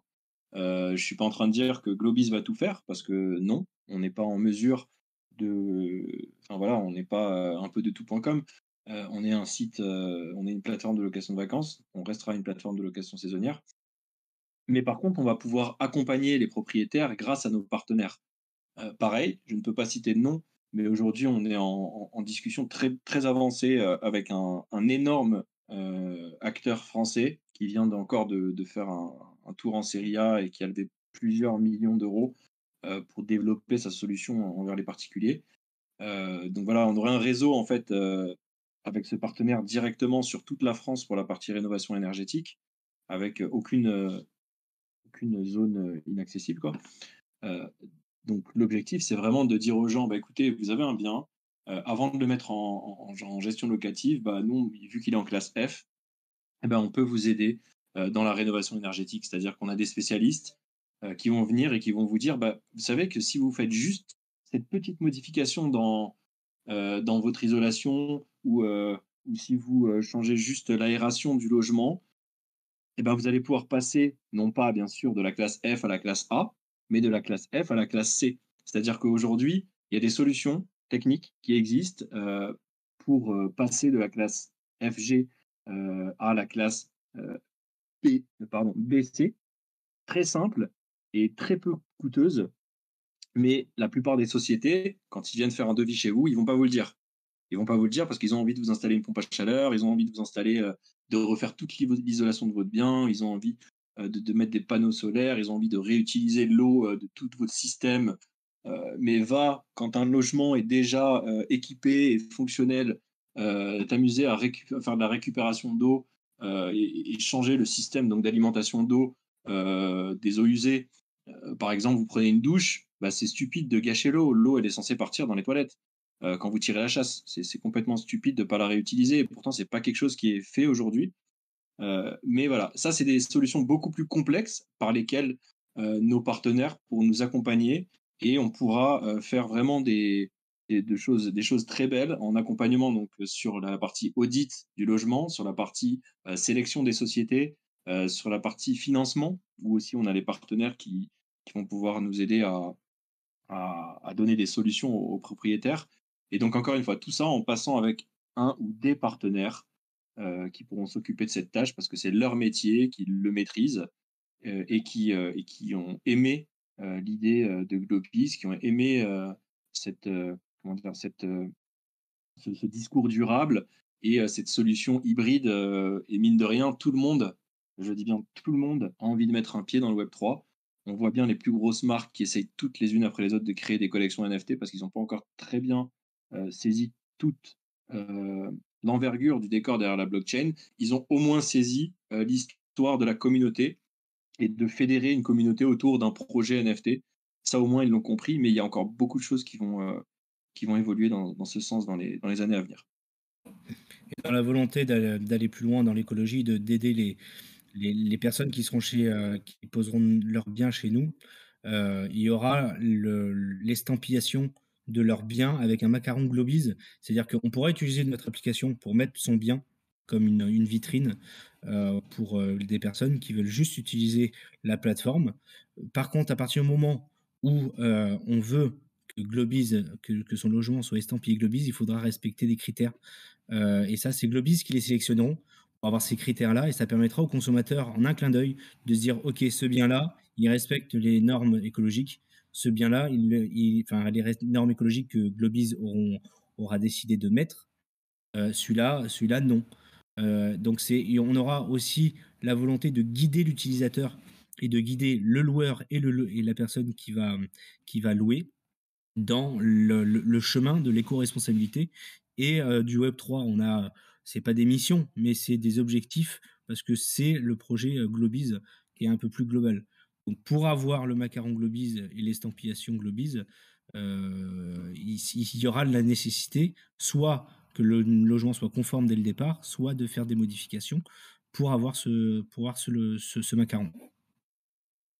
Euh, ouais, juste pour euh, un petit peu euh, compléter mmh. ce que tu viens de dire, pour obtenir le macaron Globiz, si tu passes pas par le home staging de Globiz et donc notre accompagnement, ça sera très très difficile. C'est-à-dire que mmh. ça ne sera pas accordé comme ça à tout va, à n'importe qui. parce que bien sûr, un, un, bien qui est labellisé, le label euh, Globiz, on le veut fort. On a carrément aujourd'hui une avocate en, en, droit des contrats qui est en train de négocier ce, ce fameux contrat pour les futurs propriétaires, enfin de l'écrire plutôt. Euh, ça ne sera vraiment pas accordé à n'importe qui. C'est-à-dire qu'il faudra euh, vraiment que le bien soit visité par la team, euh, qu'il soit accepté, qu'il soit testé, qu'il soit audité. Euh, il y aura beaucoup d'étapes avant qu'un bien euh, devienne labellisé s'il ne passe pas par l'option de labellisation. Je ne dis pas que c'est quelque chose qui est impossible, ça pourra arriver, mais ça ne sera pas attribué comme ça à la volée n'importe qui à n'importe comment à n'importe qui. Ce sera un marqueur fort en effet. Euh, on a une dernière question pour la dixième. Après, on pourra donner la parole aux personnes ou lire les questions qui sont sur le chat. Euh, on revient sur la partie euh, Web 3. Et c'était Arabian qui posait la question. Actuellement, des rendements à près de 30% sont proposés par des protocoles style H et Proteo sur du stable. Comment comptez-vous valoriser la prise de risque pendant la période de prémine et de vesting? Donc là, on l'a choisi parce que ça méritait en effet des précisions en termes d'investissement Yes. Alors, je vais répondre à cette question par, euh, par une réflexion plutôt que par une réponse. Quand on décide d'investir en, en, stage très early, donc très tôt, avant même que la solution n'existe, certes, on prend beaucoup de risques. On prend beaucoup de risques et on décide de prendre ce risque de par le crédit, la confiance qu'on peut donner à, un fondateur, à son équipe, à la qualité de son projet, à la possibilité de réussite. Voilà, on prend plein de critères, comme prendrait un business angel ou un VC, et puis on les met les uns derrière les autres et on se dit euh, est-ce que je coche euh, le maximum de cases pour le oui ou inversement pour le non? Et on finit par décider si on investit ou pas. Donc, certes, investir en, stage comme ça très tôt, c'est risqué, il faut, dire ce qui est. Euh, pour parler des, euh, pour rentrer dans, le dur de la question, euh, pour parler des rendements, euh, bien sûr que on a envie, moi, toute la team derrière, on a envie de récompenser ceux qui croient dans le projet, ceux qui nous ont aidés depuis le début. Et, on considère que c'est quelque chose de vraiment important. Et d'ailleurs, c'est pour ça que la plateforme, enfin la plateforme, la, possibilité de pré-mint et d'accorder du, rendement à ce pré-mint avec des, des, des, rewards boostés pendant les premiers temps et, et, surtout la possibilité d'utiliser des jetons qui sont cliff pour Mint, euh, c'est vraiment qu'on a confiance euh, en nos premiers investisseurs et qu'on a envie de les récompenser parce qu'ils adhèrent et qui euh, participent à la croissance du projet. Euh, quelqu'un peut décider d'acheter euh, très tôt, je sais pas moi, pour 100 000 euros de jetons et de se dire bon bah moi je vais récupérer 12,5% tous les trois mois après le cliff et euh, tous les trois mois après Cliff, bah, je vendrai ça euh, parce que le lancement il sera quatre fois plus cher que euh, quand j'ai acheté en seed. et le mec ne veut pas du tout participer au projet, il est vraiment là juste pour la prise de bénéfices à court terme et non pas sur le long terme. donc cette personne-là, on va pas lui accorder cette envie de, comment dire, de, de, cette possibilité de, de rendement attractif, parce qu'on peut pas stacker les jetons. Par contre, la personne qui veut participer sur le long terme et qui se dit, bah moi j'ai acheté euh, pour euh, non pas 100 000, mais euh, par exemple en, private 1 pour 13 500 euros et je veux minter mon NFT Queen que je vais stacker, et ben lui va avoir un rendement très intéressant parce que grâce à lui, le projet continue de se développer. Il participe à, la réussite du projet parce qu'il mint, parce que il rentre dans l'écosystème pleinement, parce qu'il veut demain pouvoir utiliser ses NFT pour aller réserver ses vacances et qui veut voilà continuer sur cette euh, euh, sur ce rendement passif euh, le, plus longtemps dans le projet. Donc lui, on va aller le récompenser. Pour rapidement, quand on parle de rendement à 30% sur des stables, ok, c'est vrai. La plupart du temps, bah, il faut avoir des S-Proteo ou des, des LKH, ou je ne sais même plus comment ça s'appelle, mais la plupart du temps, on ne peut pas le faire directement avec ses jetons. On doit euh, convertir ces jetons dans quelque chose, puis les bloquer pendant un certain temps, et là seulement on peut aller euh, stacker, là seulement on peut aller participer au, au pool et, euh, obtenir du rendement. Mais c'est pareil, quand vous faites ça, bah, l'argent il est bloqué. Si vous le débloquez, bah, vous y perdez parce que dans l'autre sens, c'est pas aussi facile. Et puis surtout, il y a des périodes d'unbonding. Il y a, enfin voilà. Donc, on va dire que c'est intéressant pour le protocole et pour les utilisateurs qui veulent faire ça sur du court terme. Mais sur le long terme, c'est pas forcément la, à mon sens, c'est pas for- forcément la meilleure solution. Mais bon, voilà. Pour finir, pour, pour résumer, comment est-ce qu'on va valoriser? Ben, On vous l'a dit. euh, vous l'a dit. On va lancer le pré-mint euh, dès la fin. On n'a pas encore annoncé la date, mais euh, ce sera pas longtemps, euh, quelques heures, quelques jours après la fin de la vente privée. Donc ça sera annoncé très prochainement. Les APR aussi seront annoncés très prochainement. Euh, je pense honnêtement qu'ils vous plairont beaucoup et que euh, les, investisseurs euh, early seront satisfaits de, de voir les rendements qu'on propose. On a décidé de, de- proposer un, un rendement fixe pour, pour une raison principale. On n'a aucune idée du nombre de personnes qui ont acheté en seed et en vente privée qui vont aller mint des NFT. Est-ce que ça sera 100% Est-ce que ça sera 10% On n'en a aucune idée. On peut pas le, on peut pas le, comment dire, le, l'imaginer à l'avance. Donc, on peut pas proposer un APR euh, à, à 2000% et puis bah, trois jours après ou même pas une heure après, quand tout le monde a mint, eh ben, l'APR il est tombé de 2000% à 35%. C'est pas notre objectif.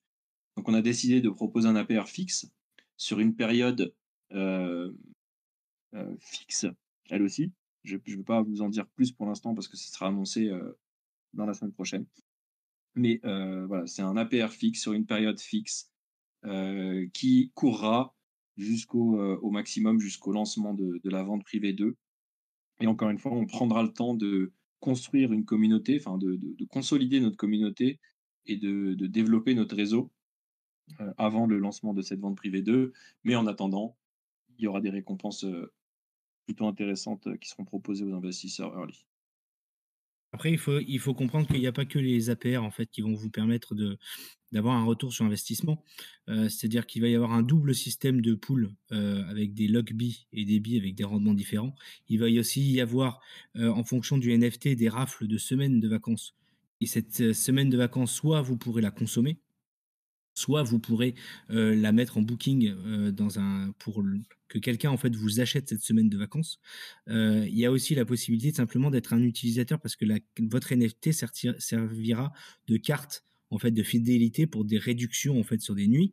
Donc vous avez cette possibilité là en plus si vous êtes user et en plus de ça, la pool si vous êtes voyageur, moi je suis un grand voyageur, je voyage beaucoup avec ma famille, c'est-à-dire que lorsque je vais mettre mon NFT sur le pool euh, de Logby, je pourrais utiliser mes Logby dans l'application. C'est-à-dire que je pourrais acheter avec ma pool boostée des nuits.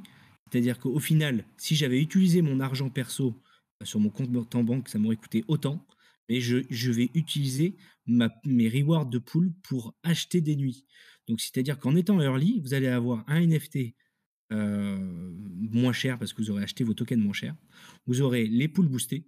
Vous aurez les semaines de vacances offertes si vous avez la chance de, les gagner, et vous aurez les réductions sur les nuits. Donc, c'est-à-dire, il n'y a pas que les APR de la poule, c'est vraiment un, les utilisateurs de l'application seront extrêmement euh, valorisés, et c'est volontaire parce que notre application a pour but d'être utilisée. Si on, fait certains projets crypto qui ne sont que spéculation, euh, en effet, ils peuvent présenter des flips euh, où on arrive à faire des x3, x4, sauf que les NFT n'ont qu'une utilité. Et Globiz est un user projet avec des utilities qui, euh, qui demain vous serviront dans la vie quotidienne. Quand vous aurez, quand moi je vais louer ma première nuit avec mes poules, euh, de ma pool de reward, eh ben, ça m'aura coûté mes logby. Et ça, il faut bien voir qu'il y a des rendements cachés dans le projet. Et c'est ça qui est intéressant aussi. Il n'y a pas que le système. Euh, il me faut dans les deux semaines, il faut que j'ai un retour sur investissement, il faut que j'ai un RIO le maximum possible. Euh, ici, on a un projet avec des utilities et des users. C'est-à-dire, vous allez être nos ambassadeurs, très clairement. Si je peux. Je euh, parais engagé. Je parais engagé. Non, non, mais ça fait, ça fait plaisir, ça, ça fait vraiment plaisir de, de te sentir si, si volontaire. Euh, alors, juste une petite chose qui est importante, euh, quand on dit qu'on pourra payer euh, ses nuits de vacances avec euh, ses rewards boostés directement, il faut bien comprendre une chose. Euh, pour que le jeton reste un utility, token, il ne faut pas qu'il ait de valeur directe euh, contre une monnaie d'échange fiat, fiduciaire. Du coup, euh, ici aussi, on applique une certaine stratégie que je vais vous expliquer. En fait, on n'achète pas une euh, nuit ou une semaine de vacances avec ces rewards boostés. On va aller minter un NFT qui va représenter euh, cette semaine ou cette nuit de vacances.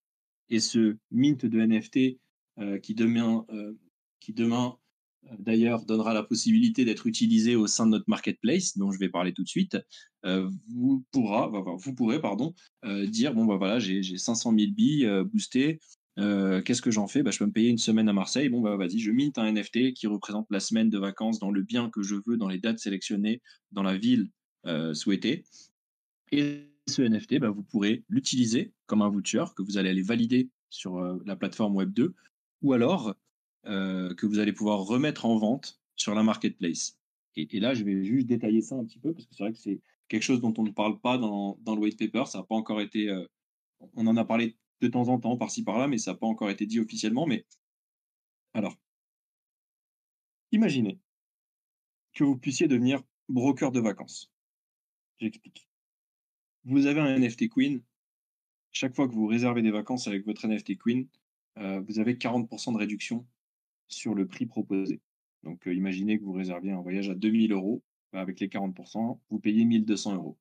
Ensuite, euh, la, enfin, la marketplace, le, le fait de devenir broker de vacances, en fait, per permettra euh, d'ouvrir des dates à horizon euh, assez lointaine. C'est-à-dire que on ouvrira des dates, des créneaux sur, les biens entre minimum 6 à 12 mois après la date du jour J. Donc là, on est le 14 avril, euh, mai, juin, juillet, août, septembre. Admettons que là, vous décidiez de réserver une semaine à Courchevel au ski la semaine, elle est à 2000 euros. Vous avez vos 40% de réduction, ça fait 1002.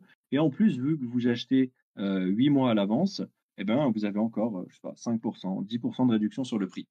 Vous vous retrouvez à payer à 1000 euros, par exemple, un bien qui en coûtait 2000 avec vos jetons boostés. Parce que, la poule, parce que les APR de la, de la pool de reward boosté euh, sont toujours plus intéressants forcément que la pool de reward standard. Euh, donc vous mintez votre NFT qui ressemble, qui, qui, qui est en fait la semaine de vacances, et ben ce NFT, soit vous partez en vacances avec, et c'est le voucher que vous validez sur la plateforme, soit vous décidez de le remettre en vente sur la marketplace. Mais quand vous le remettez en vente sur la marketplace, qu'est-ce qui se passe? Il est offert, euh, il ne sera pas disponible sur Sockno ou sur Frameit. Hein. Euh, il faut absolument qu'on contrôle euh, la, vente de ces NFT parce qu'imaginez que la date est dépassée, vous vendez le NFT, bah, le NFT n'a aucune valeur. Donc ça sera vraiment sur notre marketplace uniquement. Donc vous le mettez en vente, euh, un utilisateur peut se connecter et dire ah ben moi j'ai envie de partir en vacances dans ces dates-là à cet endroit-là et acheter votre NFT. Très bien. Vous pouvez le vendre bien entendu au prix que vous voulez. Le voyage coûte 2000 euros, vous l'avez payé 1000, vous pouvez le vendre 1000, vous pouvez le vendre 1005, vous pouvez le vendre 1008, vous pouvez le vendre 2000. Ça c'est vraiment comme vous voulez. L'avantage c'est quoi? L'avantage, c'est qu'il sera aussi disponible euh, sur la plateforme Web 2 standard. mais sous forme d'une semaine de vacances payable en euros, qui est l'équivalent de vos billes. Donc, euh, moi, je suis utilisateur Web 2, et puis je me connecte le, 15, euh, enfin, je sais pas le 15 septembre, et je vois cette semaine à Courchevel, alors que tout est complet, euh, qui est disponible.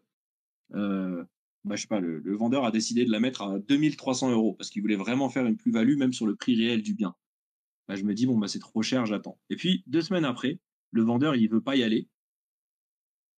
Où il ne peut plus y aller, tout simplement. Et il décide de vendre son truc, sa semaine, à 1500 euros, par exemple. Et ben, en fait, ça va être un hot deal. Ça va être comme une, un, un, last minute sur la plateforme Web 2, où des utilisateurs vont pouvoir acheter un truc qui coûtait 2000 euros à 1500 euros, par exemple. Donc, ils vont voir afficher 25% euh, de réduction.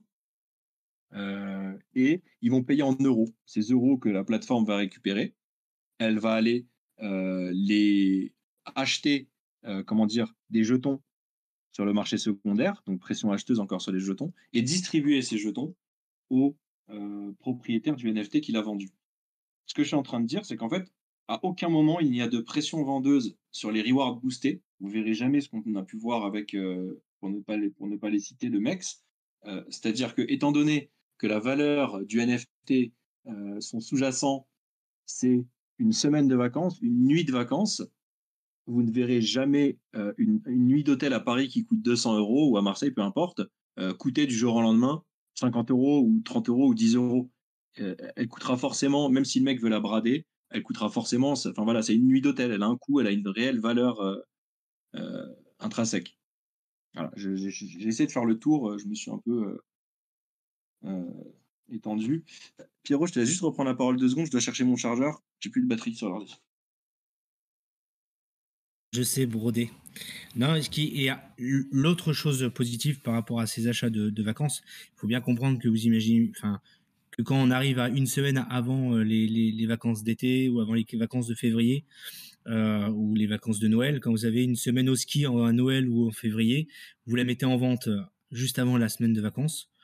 Euh, il y a la possibilité, en effet, de la vendre, euh, d'essayer en tout cas de la vendre plus cher.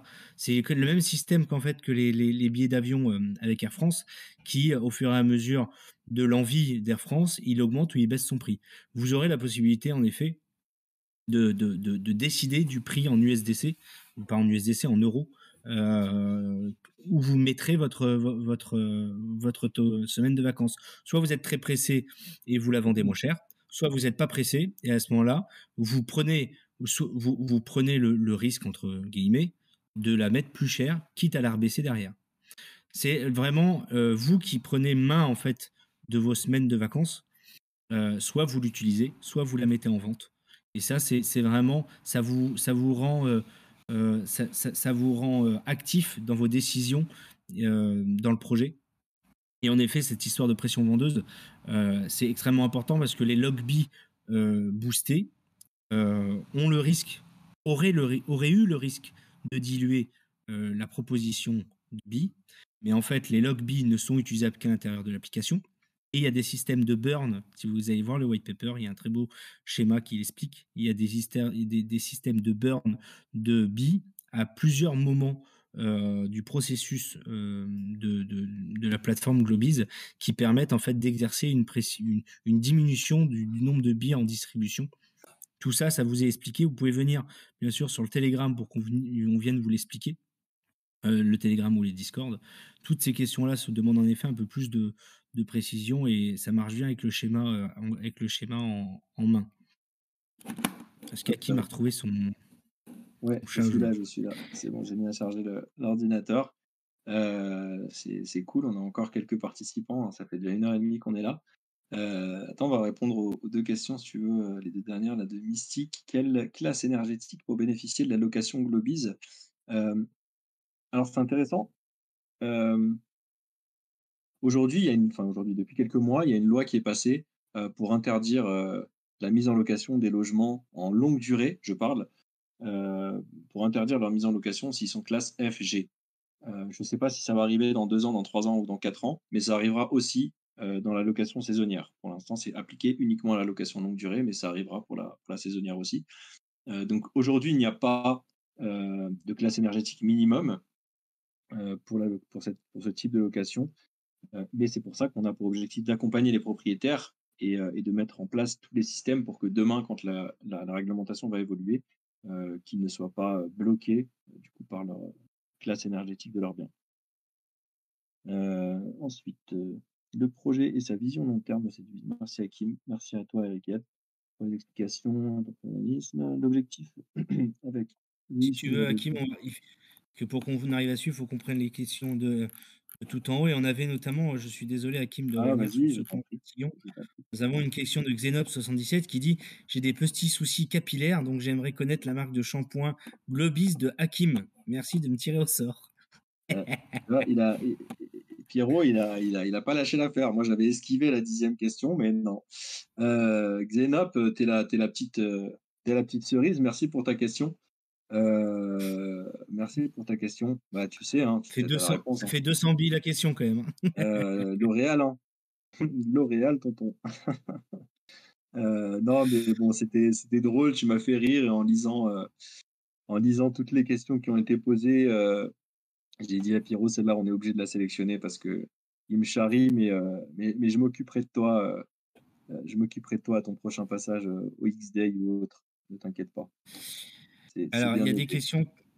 Il y a des questions dans le, chat qui sont, euh, je pense, euh, intéressantes. Il y a marqué Sera-t-il possible de réserver pour une tierce personne? C'est Reyes. Alors, Reyes, il faut juste me dire si c'est réservé un NFT ou réservé une semaine de location. Je pense qu'il parle par rapport au NFT et au, au pack. Euh, si c'est ça, en effet, les, les, sur la private sale, les 130 investisseurs ont, ont besoin pour respecter la réglementation française, d'avoir une validation, ce qu'on appelle KYC, qui est une validation d'identité pour qu'on respecte toutes les règles. C'est vraiment une règle d'or chez Globiz. On fait tout dans la légalité et on respecte toutes les règles.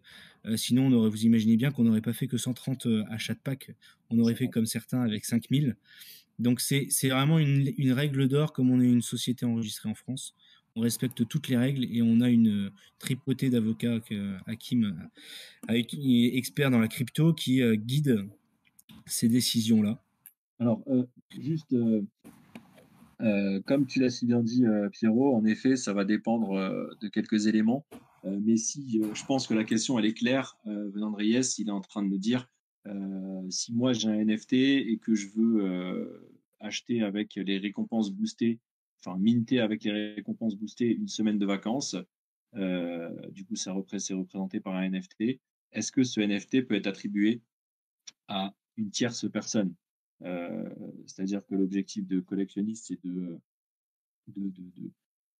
faire participer des gens avec sa collection de NFT, où ils vont investir dans des NFT de projets avec des, euh, des, rendements et des use cases qui vont pouvoir derrière distribuer donc à leur communauté.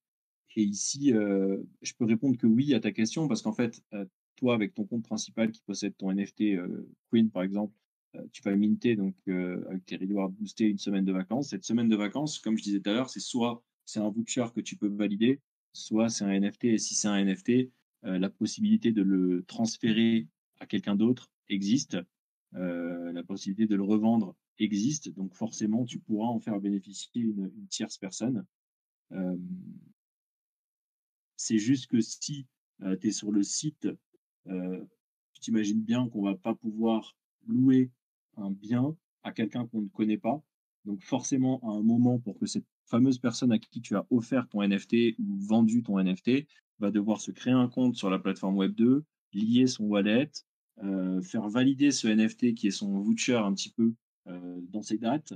Donc tout ça lié à une personne, un KYC, un mail, un nom, un prénom, une adresse, et bénéficier de la semaine de vacances. Donc oui, c'est possible, mais avec toute une, euh, une, une procédure, une mise en place derrière, mais oui, c'est complètement possible. Parfait. Euh, ensuite, on avait une question euh, de Xenop, c'est 167 membres sur Telegram France, ce n'est pas beaucoup. Mieux vaut-il pas étoffer J'ai déjà répondu en fait quand tu es parti tout à l'heure. Euh, ah. Au tout début, j'ai répondu à ces questions. Et là, normalement, on a, on a répondu à toutes jusqu'à. ah non, j'ai pas répondu à Helmut. A-t-il prévu de louer des biens dans le Fouenaverse ah, bah Ça, il faut demander à Helmut, mais Helmut, euh, je crois qu'il nous a quittés.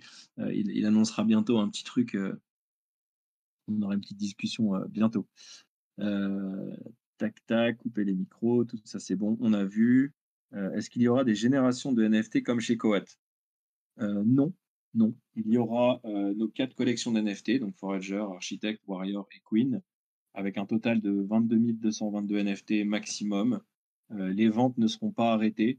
L'objectif, c'est d'avoir demain des, centaines de milliers, voire des millions d'utilisateurs sur la plateforme Web2. Euh, et, euh, ces 22 000 NFT, enfin 22 222, euh, lorsqu'on aura euh, des centaines de milliers, voire des millions d'utilisateurs, en fait, ne représenteront qu'un qu'un très faible pourcentage de, la, de nos utilisateurs qui pourront en avoir un. Donc voilà, c'est vraiment, ça restera ouvert jusqu'à ce qu'il n'y en ait plus. À Mint.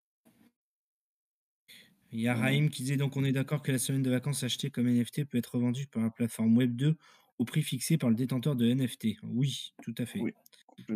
C'est le, le, le détenteur et broker de vacances, il est détenteur. S'il le met trop cher, il prend le risque de ne pas le vendre. Et à la date dépassée de la- de- des vacances, de la semaine de vacances, il ne pourra plus la, vendre. Donc après, ce sera, lui qui décidera avec la réduction qu'il a eue. Hakim a pris l'exemple de 40% pour le prix de la de réduction, mais ce 40%, c'était vraiment pour les, détenteurs de la Queen Bee. Faut pas, faut, bien avoir l'idée que c'est au maximum 40%. Mais en effet, euh, le broker, le détenteur, euh, décidera du prix. Ouais, Il faut rappeler donc 5% pour- de réduction pour les foragers, 10 pour les architectes, 20 pour les warriors et les 40% pour les queens. Et d'ailleurs, euh, question moi qui me vient, si j'ai deux architectes, ça, ça se passe comment? Euh, si tu as deux architectes, non, ça ne se cumule pas. Euh, ça ne se cumule pas, c'est pas c'est pas 40%, c'est on prend le sur ton compte qui sera lié à la plateforme Web 2, euh, ton rang le plus élevé, enfin ton tiers le plus élevé, et on appliquera la réduction sur ce tiers-là. Par contre, euh, bah, bien Et- entendu euh, que tu ne pourras pas euh, faut, faut- enfin, imaginer que vous avez un NFT Queen ou autre, vous pourrez pas mine toutes les semaines une semaine de vacances à moins 40%. Il y aura des quotas, il y aura des règles qui seront qui seront annoncées où l'utilisateur pourra vraiment être satisfait de, de, de la prestation, mais euh, bien entendu, il ne faudra pas qu'il puisse en, en abuser, euh, au même titre que vous ne pouvez pas acheter un NFT, euh, minter votre semaine de vacances et le revendre le lendemain. Il faudra qu'il soit stacké pendant un certain temps. Voilà, donc ça, c'est des petites règles qui seront appliquées euh, au fur et à mesure, mais voilà, c'est pour la, bonne euh, pratique du, projet sur le long terme. Bon, parfait. Bah, écoutez, s'il y en a qui veulent prendre la parole, n'hésitez pas à le dire dans le chat. Euh, ou simplement peut-être pour dire euh, les impressions sur euh, Lama. Rappelez que on a un, un, Telegram français et anglais. Euh, on a un Discord ici. Le Discord, vous pouvez le penser qu'il est sous-utilisé. C'est volontaire pour le moment. Il est en, en mise en, en chauffe pour le moment où, où les applications seront lancées. Il était utile de tout créer avant pour les tester, pour que lorsqu'on en ait besoin, tout soit déjà tout testé. Donc, euh, en effet, j'ai beaucoup cette question euh, en perso, euh, des gens qui me disent pourquoi est-ce qu'on a des réseaux sociaux sous, euh, sous-alimentés actuellement. Parce que on est encore un projet user et que quand on pourra utiliser l'application, on- les réseaux sociaux devraient, monter. Donc, s'il y en a qui veulent prendre la parole, n'hésitez pas.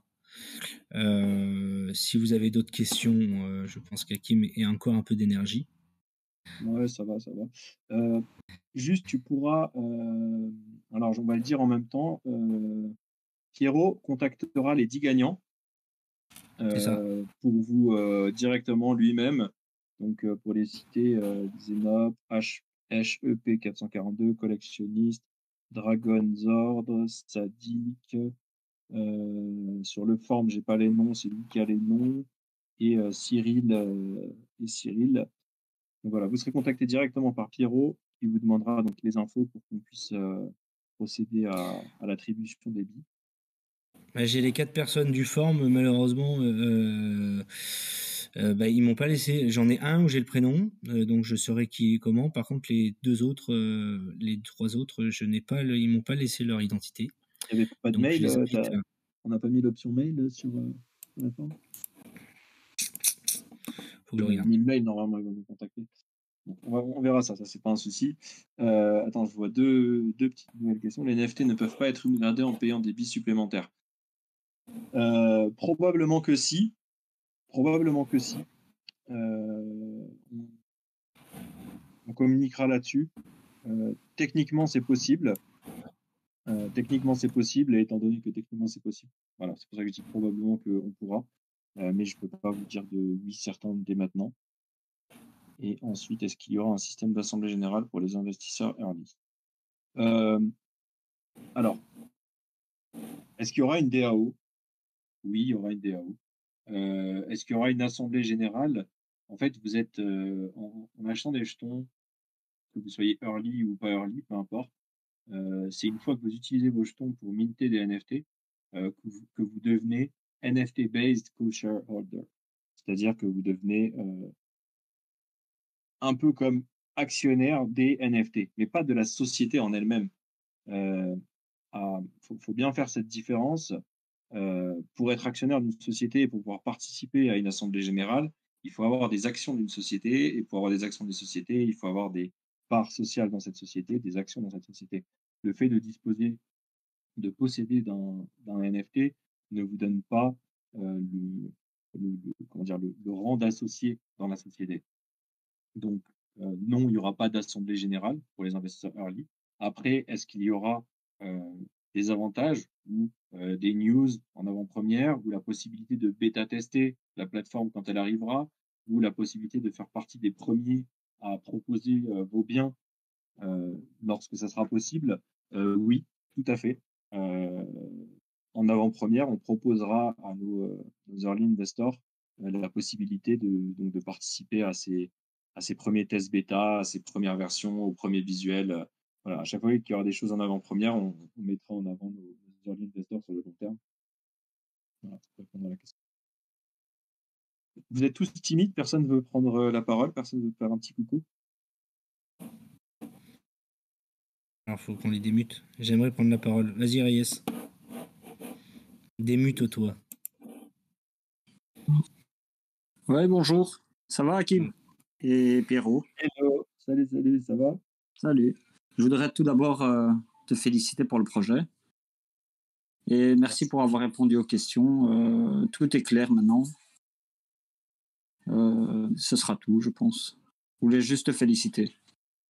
Okay, eh bien, merci bah, beaucoup. Écoute, euh, merci beaucoup pour ton intervention et pour, euh, et puis, bah, pour ces, ces, félicitations. C'est très appréciable, c'est très gentil. Et puis, on va continuer à, à bosser dur pour, euh, pour sortir une plateforme le plus vite possible, fonctionnelle et, et qu'on gravisse les marches. D'accord, ça va. Je merci beaucoup, bonne soirée à tous. très bientôt, bonne soirée à toi aussi. Je crois que Julien est en train de faire du touche-touche avec Hugo. Quoi? Il y, a, il y, a, Julien qui dit Je crois que Hugo souhaite prendre la parole. ah, euh, c'est pas Julien, c'est Laurent. Laurent, pardon, oui. Entre CEO de projet, je crois qu'ils sont en train de se, euh, se chercher.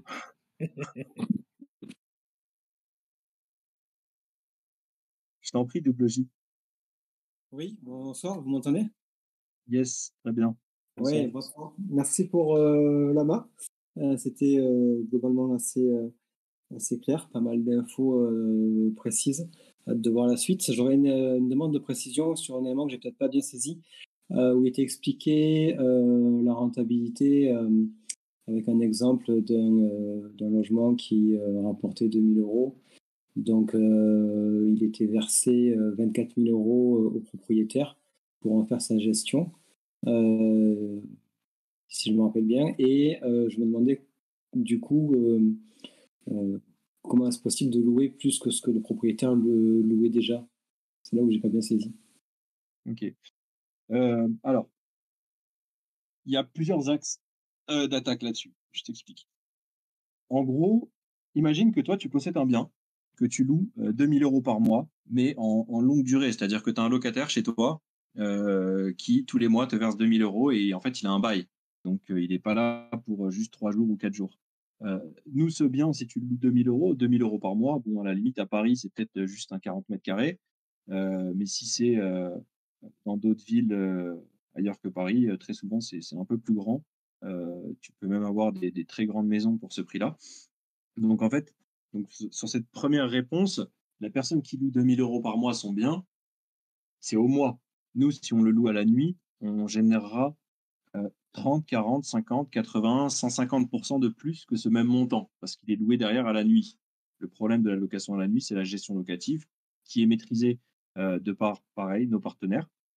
Euh, et pour, euh, pour quelqu'un qui louerait déjà en location courte durée et qui réussit à gagner 2000 euros par mois, en effet, on ne va pas lui proposer 24 000 euros.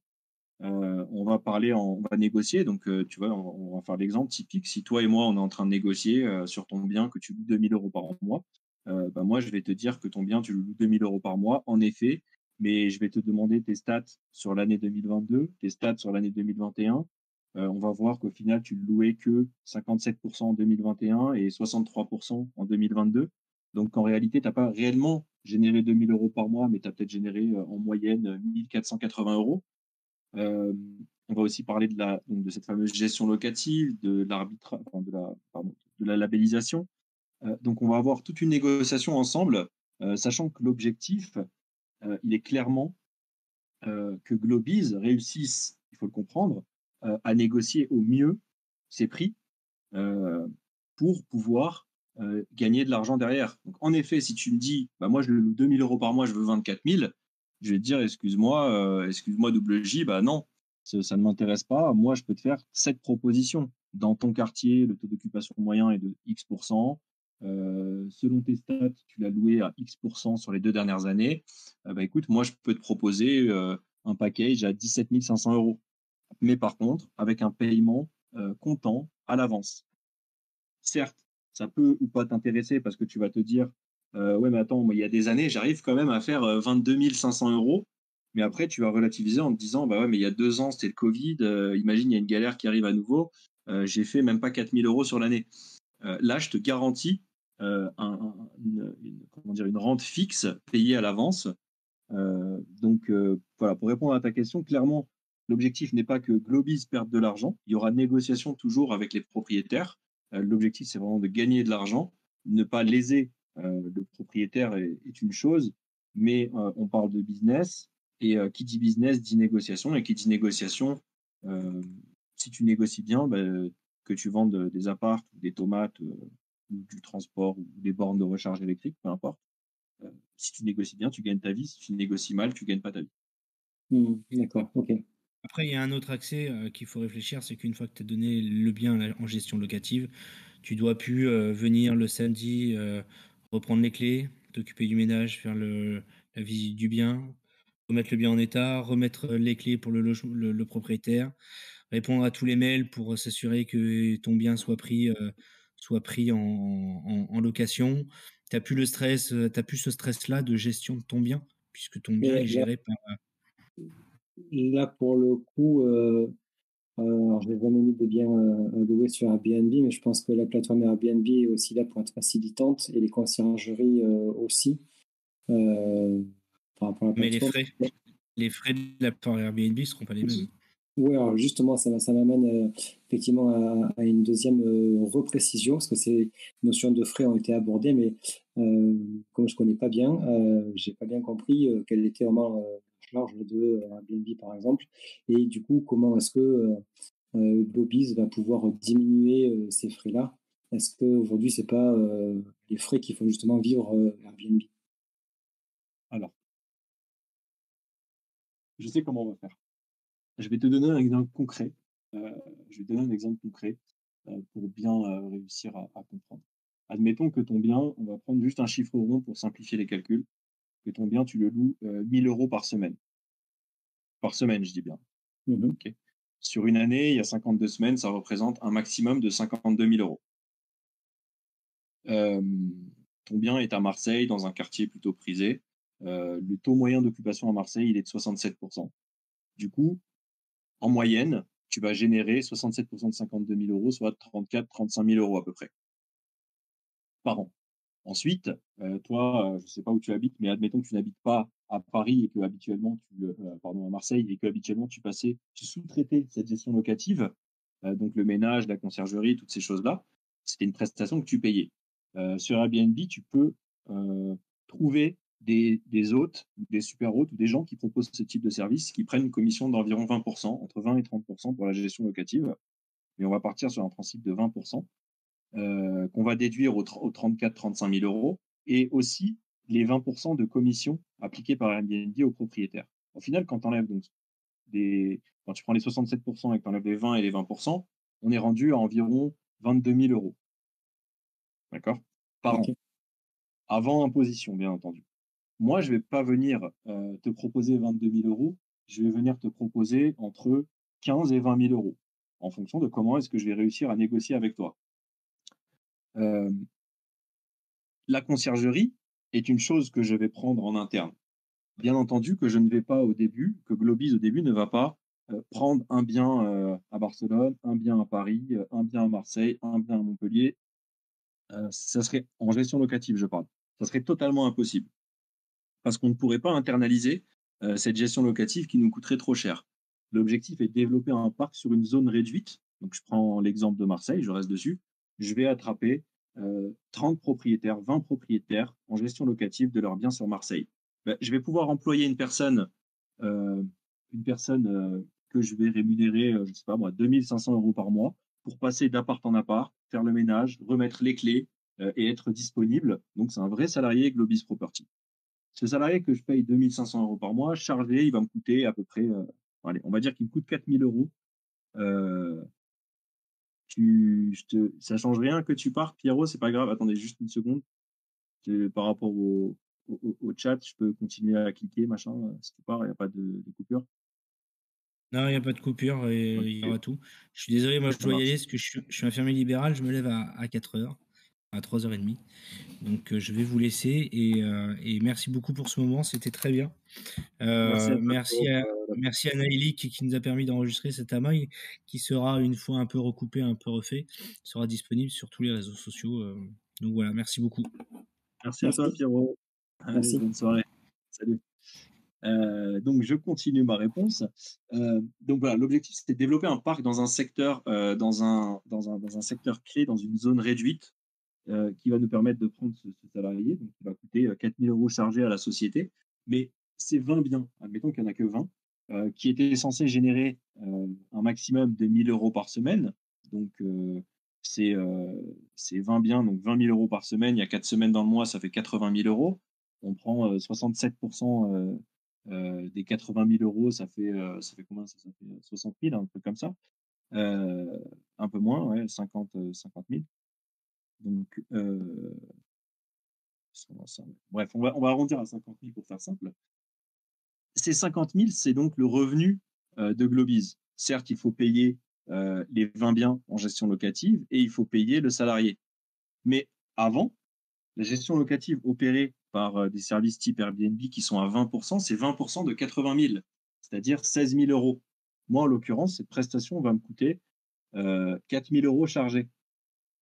Donc, on, arrive à trouver une solution grâce à cette zone réduite pour que la conciergerie ne coûte pas cher à la société et qu'on puisse aller chercher de l'argent sur cette partie-là.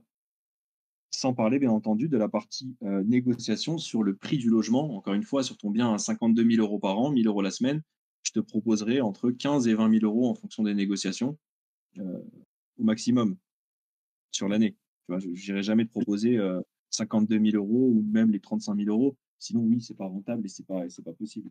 Ça sera toujours rentable autant pour Globiz euh, que pour le propriétaire.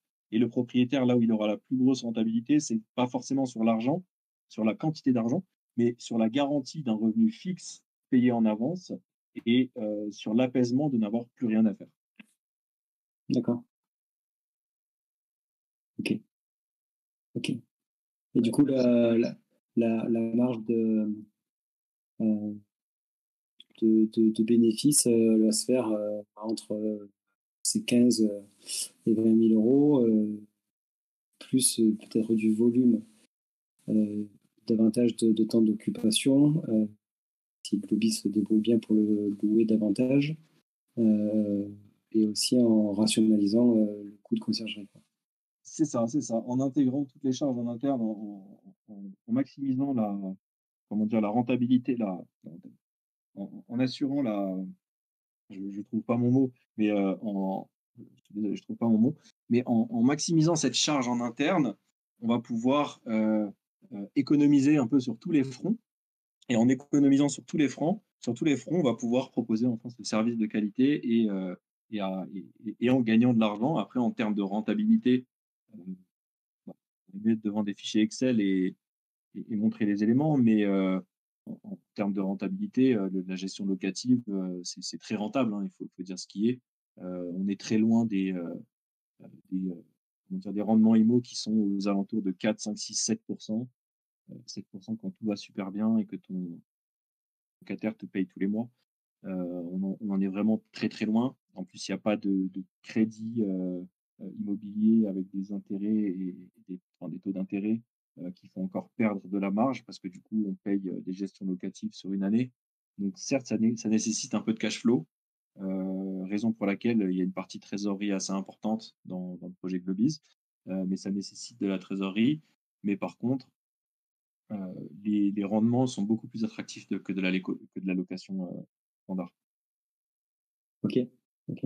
Et peut-être juste une dernière question, après je vais m'arrêter là. simplement, au, au niveau réglementaire, comment ça se passe? Sur ces locations en courte durée Je sais que ça a été assez décrié. Alors, il y, a, y, a, deux choses. Tout d'abord, toi, en tant que propriétaire, tu vas me louer ton bien à Globiz en location longue durée, en gestion locative. Donc, tu fais plus de, es plus limité aux 120 jours par an. toi, es, tu loues ton bien à l'année et après, c'est moi qui me débrouille. Comment, et maintenant, pour répondre à la question pour, la partie de Globiz, Globiz est une société avec un numéro d'agrément de gestion locative et avec aussi des dépôts de numéros d'agrément pour la possibilité de louer des biens en, saisonnier. Il y a des villes maintenant qui demandent Paris. il y a des villes qui ont tout simplement banni les Airbnb de leur, leur centre-ville, et puis il y en a d'autres qui demandent juste un numéro d'agrément pour pouvoir exercer en tant que professionnel. Et en tant que professionnel, c'est totalement différent. En fait, ce qu'il faut comprendre, c'est que les particuliers louent leurs biens, mais ne déclaraient rien. Et Airbnb, avant, ne donnait aucun chiffre. Donc il y avait trop d'argent que l'État perdait. Très, souvent, une réglementation, elle n'est pas forcément là au début pour améliorer la qualité de vie, mais plutôt pour aller chercher quelque chose qu'on estime comme un dû. L'État s'est dit, bah, attendez, il y a une manne monétaire trop importante qu'on perd, il faut qu'on fasse évoluer la loi. Donc on va limiter un nombre de jours, donc on va empêcher de louer dans certaines villes, etc.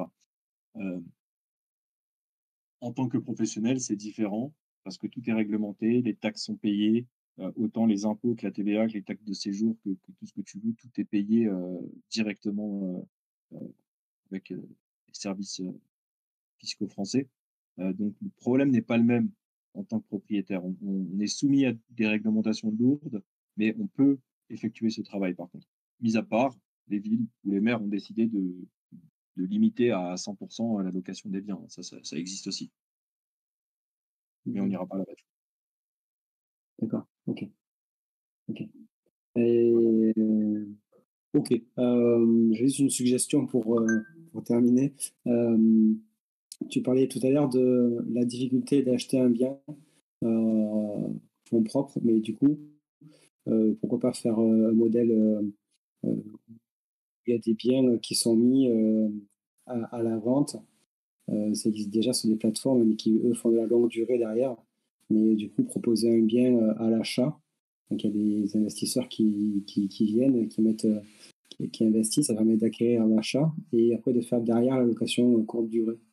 Mais, et, du coup, pas forcément avec des emprunts ou, des vicis, mais vraiment d'ouvrir avec des, billets de 50, 100 euros ou 100, 1000, de rendre liquide, mais avec une finalité de location courte durée.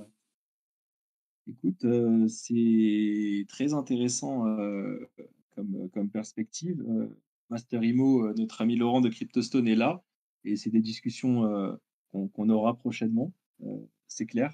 Tu as totalement raison. c'est vraiment une option qui existe, qui est prévue. Si tu veux, je peux même te rajouter une réponse pour aller plus loin de ce qui est aussi prévu. On, on a parlé très brièvement tout à l'heure, mais on, négocie avec des gros établissements français qui gèrent euh, des dizaines de milliers euh, de biens en gestion locative en France annuellement. euh, quand tu es propriétaire et que tu donnes ton bien à une société de gestion locative euh, type euh, Foncia, euh, tu vas leur donner un bien, ils vont prendre 6,5% pour la gestion locative et euh, 3,5% en général, à peu près en moyenne, euh, pour les, la garantie loyer impayé. Donc un total d'environ 10%. Euh, L'objectif, il est d'aller chercher aussi ces propriétaires via les agences, de passer un, euh, des, des, gros partenariats, donc c'est en discussion actuellement, euh, pour euh, gérer la gestion locative des propriétaires via euh, les sociétés avec qui ils font la gestion locative, donc des, des contrats tripartis, où euh, le propriétaire, plutôt que de gagner 90% de 1000, bah, il va gagner 100%. Euh, le, comment dire, l'agence, plutôt que de gagner 10%, bah, va gagner 12, 13, 14, 15%. Et, euh, et derrière, Globis fait la gestion du bien et peut, lui, euh, générer du bénéfice tout en payant tous ces gens-là et, et, accéder rapidement à un parc euh, immobilier beaucoup plus, euh, beaucoup plus large. Donc mmh. voilà, mais, mais, je suis totalement d'accord avec toi. Hein. C'est, ça fait partie des axes de développement futur. Il y a du crowdfunding qui se fait sur la, sur le, les investissements immobiliers. Il y a les solutions blockchain euh, via émission euh, d'obligations ou, autres euh, et, et, autres systèmes qui se Oui, justement, sur les, ce, je, je, c'est à ça que je pensais, euh, parce que bon, je, là, je m'intéresse à donc, le, le secteur de l'immobilier sur la blockchain. Euh, et il y avait le, le, projet Block, Blockimo, qui justement fait ses principes d'option euh, avec des, des, des, des tickets d'entrée à 50 euros, mais qui derrière fait de la, de la longue durée plutôt. Donc, mm -hmm. Donc là, pour Globis, ça pourrait être le, le même, le même port d'entrée pour une finalité, non pas de longue durée, mais, euh, mais c'est plutôt vocation courte. Quoi. Non, non, mais complètement. Il y a aujourd'hui deux projets, euh, comme tu as dit, il y, a, il y, a, Block et il y a CryptoStone qui sont sur Multiversix euh, oui. et qui développent avec deux, deux stratégies, enfin deux, comment dire, deux systèmes un peu différents, mais qui développent cette, cette offre de, de, de location, enfin d'investissement immobilier sur la blockchain. Et, euh, et, oui, oui, comme je te dis, c'est euh, clairement en discussion. Euh. On aura des, on a beaucoup de, comment dire, pas ce que j'ai ce soir, je perds mes mots. On a beaucoup de, de synergies à, trouver et, à, et à mettre en, pratique ensemble avec ces projets-là, qui, qui, eux pourraient être les investisseurs via leur via leurs, enfin, les propriétaires via leurs investisseurs et nous, euh, le gestionnaire des biens euh, via notre plateforme. Oui, aussi, ouais, c'est vrai. Ouais. Il y avoir de belles collaborations. C'est. Euh, ouais, t'as entendu, Laurent? Il faut, faut qu'on se voit et qu'on discute. bon, il est au courant, on en a déjà parlé. Hein, mais, ok. Ouais. Très bien. Merci, merci pour beaucoup. tes questions, en tout cas. Comment? Merci beaucoup pour tes questions, je disais. Ben, avec plaisir. Merci à toi. C'est gentil. Allez, passe une bonne soirée. Bonne soirée, merci. Alors, Xenab qui nous met euh, la petite photo. Euh... Ouais, bah, c'est ça. C'est euh, entre ce que le propriétaire. Et là, on voit même pas ce, que, ce qui va dans les poches du propriétaire. Là, on voit juste que le locataire. Attends, détail du paiement du voyageur. Ah non, ok, d'accord. Là, on voit le détail du paiement. Mais on voit pas les 70 fois 7, 490, combien touche le, le propriétaire sur ça. Euh, tac, tac, tac. Bonne soirée. Je l'ai fait la plateforme. Bon, les amis, euh, ça fait deux petites heures. Je ne sais pas si quelqu'un veut prendre la parole euh, encore et si quelqu'un qui a encore une petite question. Super synergie, ça a clairement du sens. Bah, carrément. Carrément, carrément.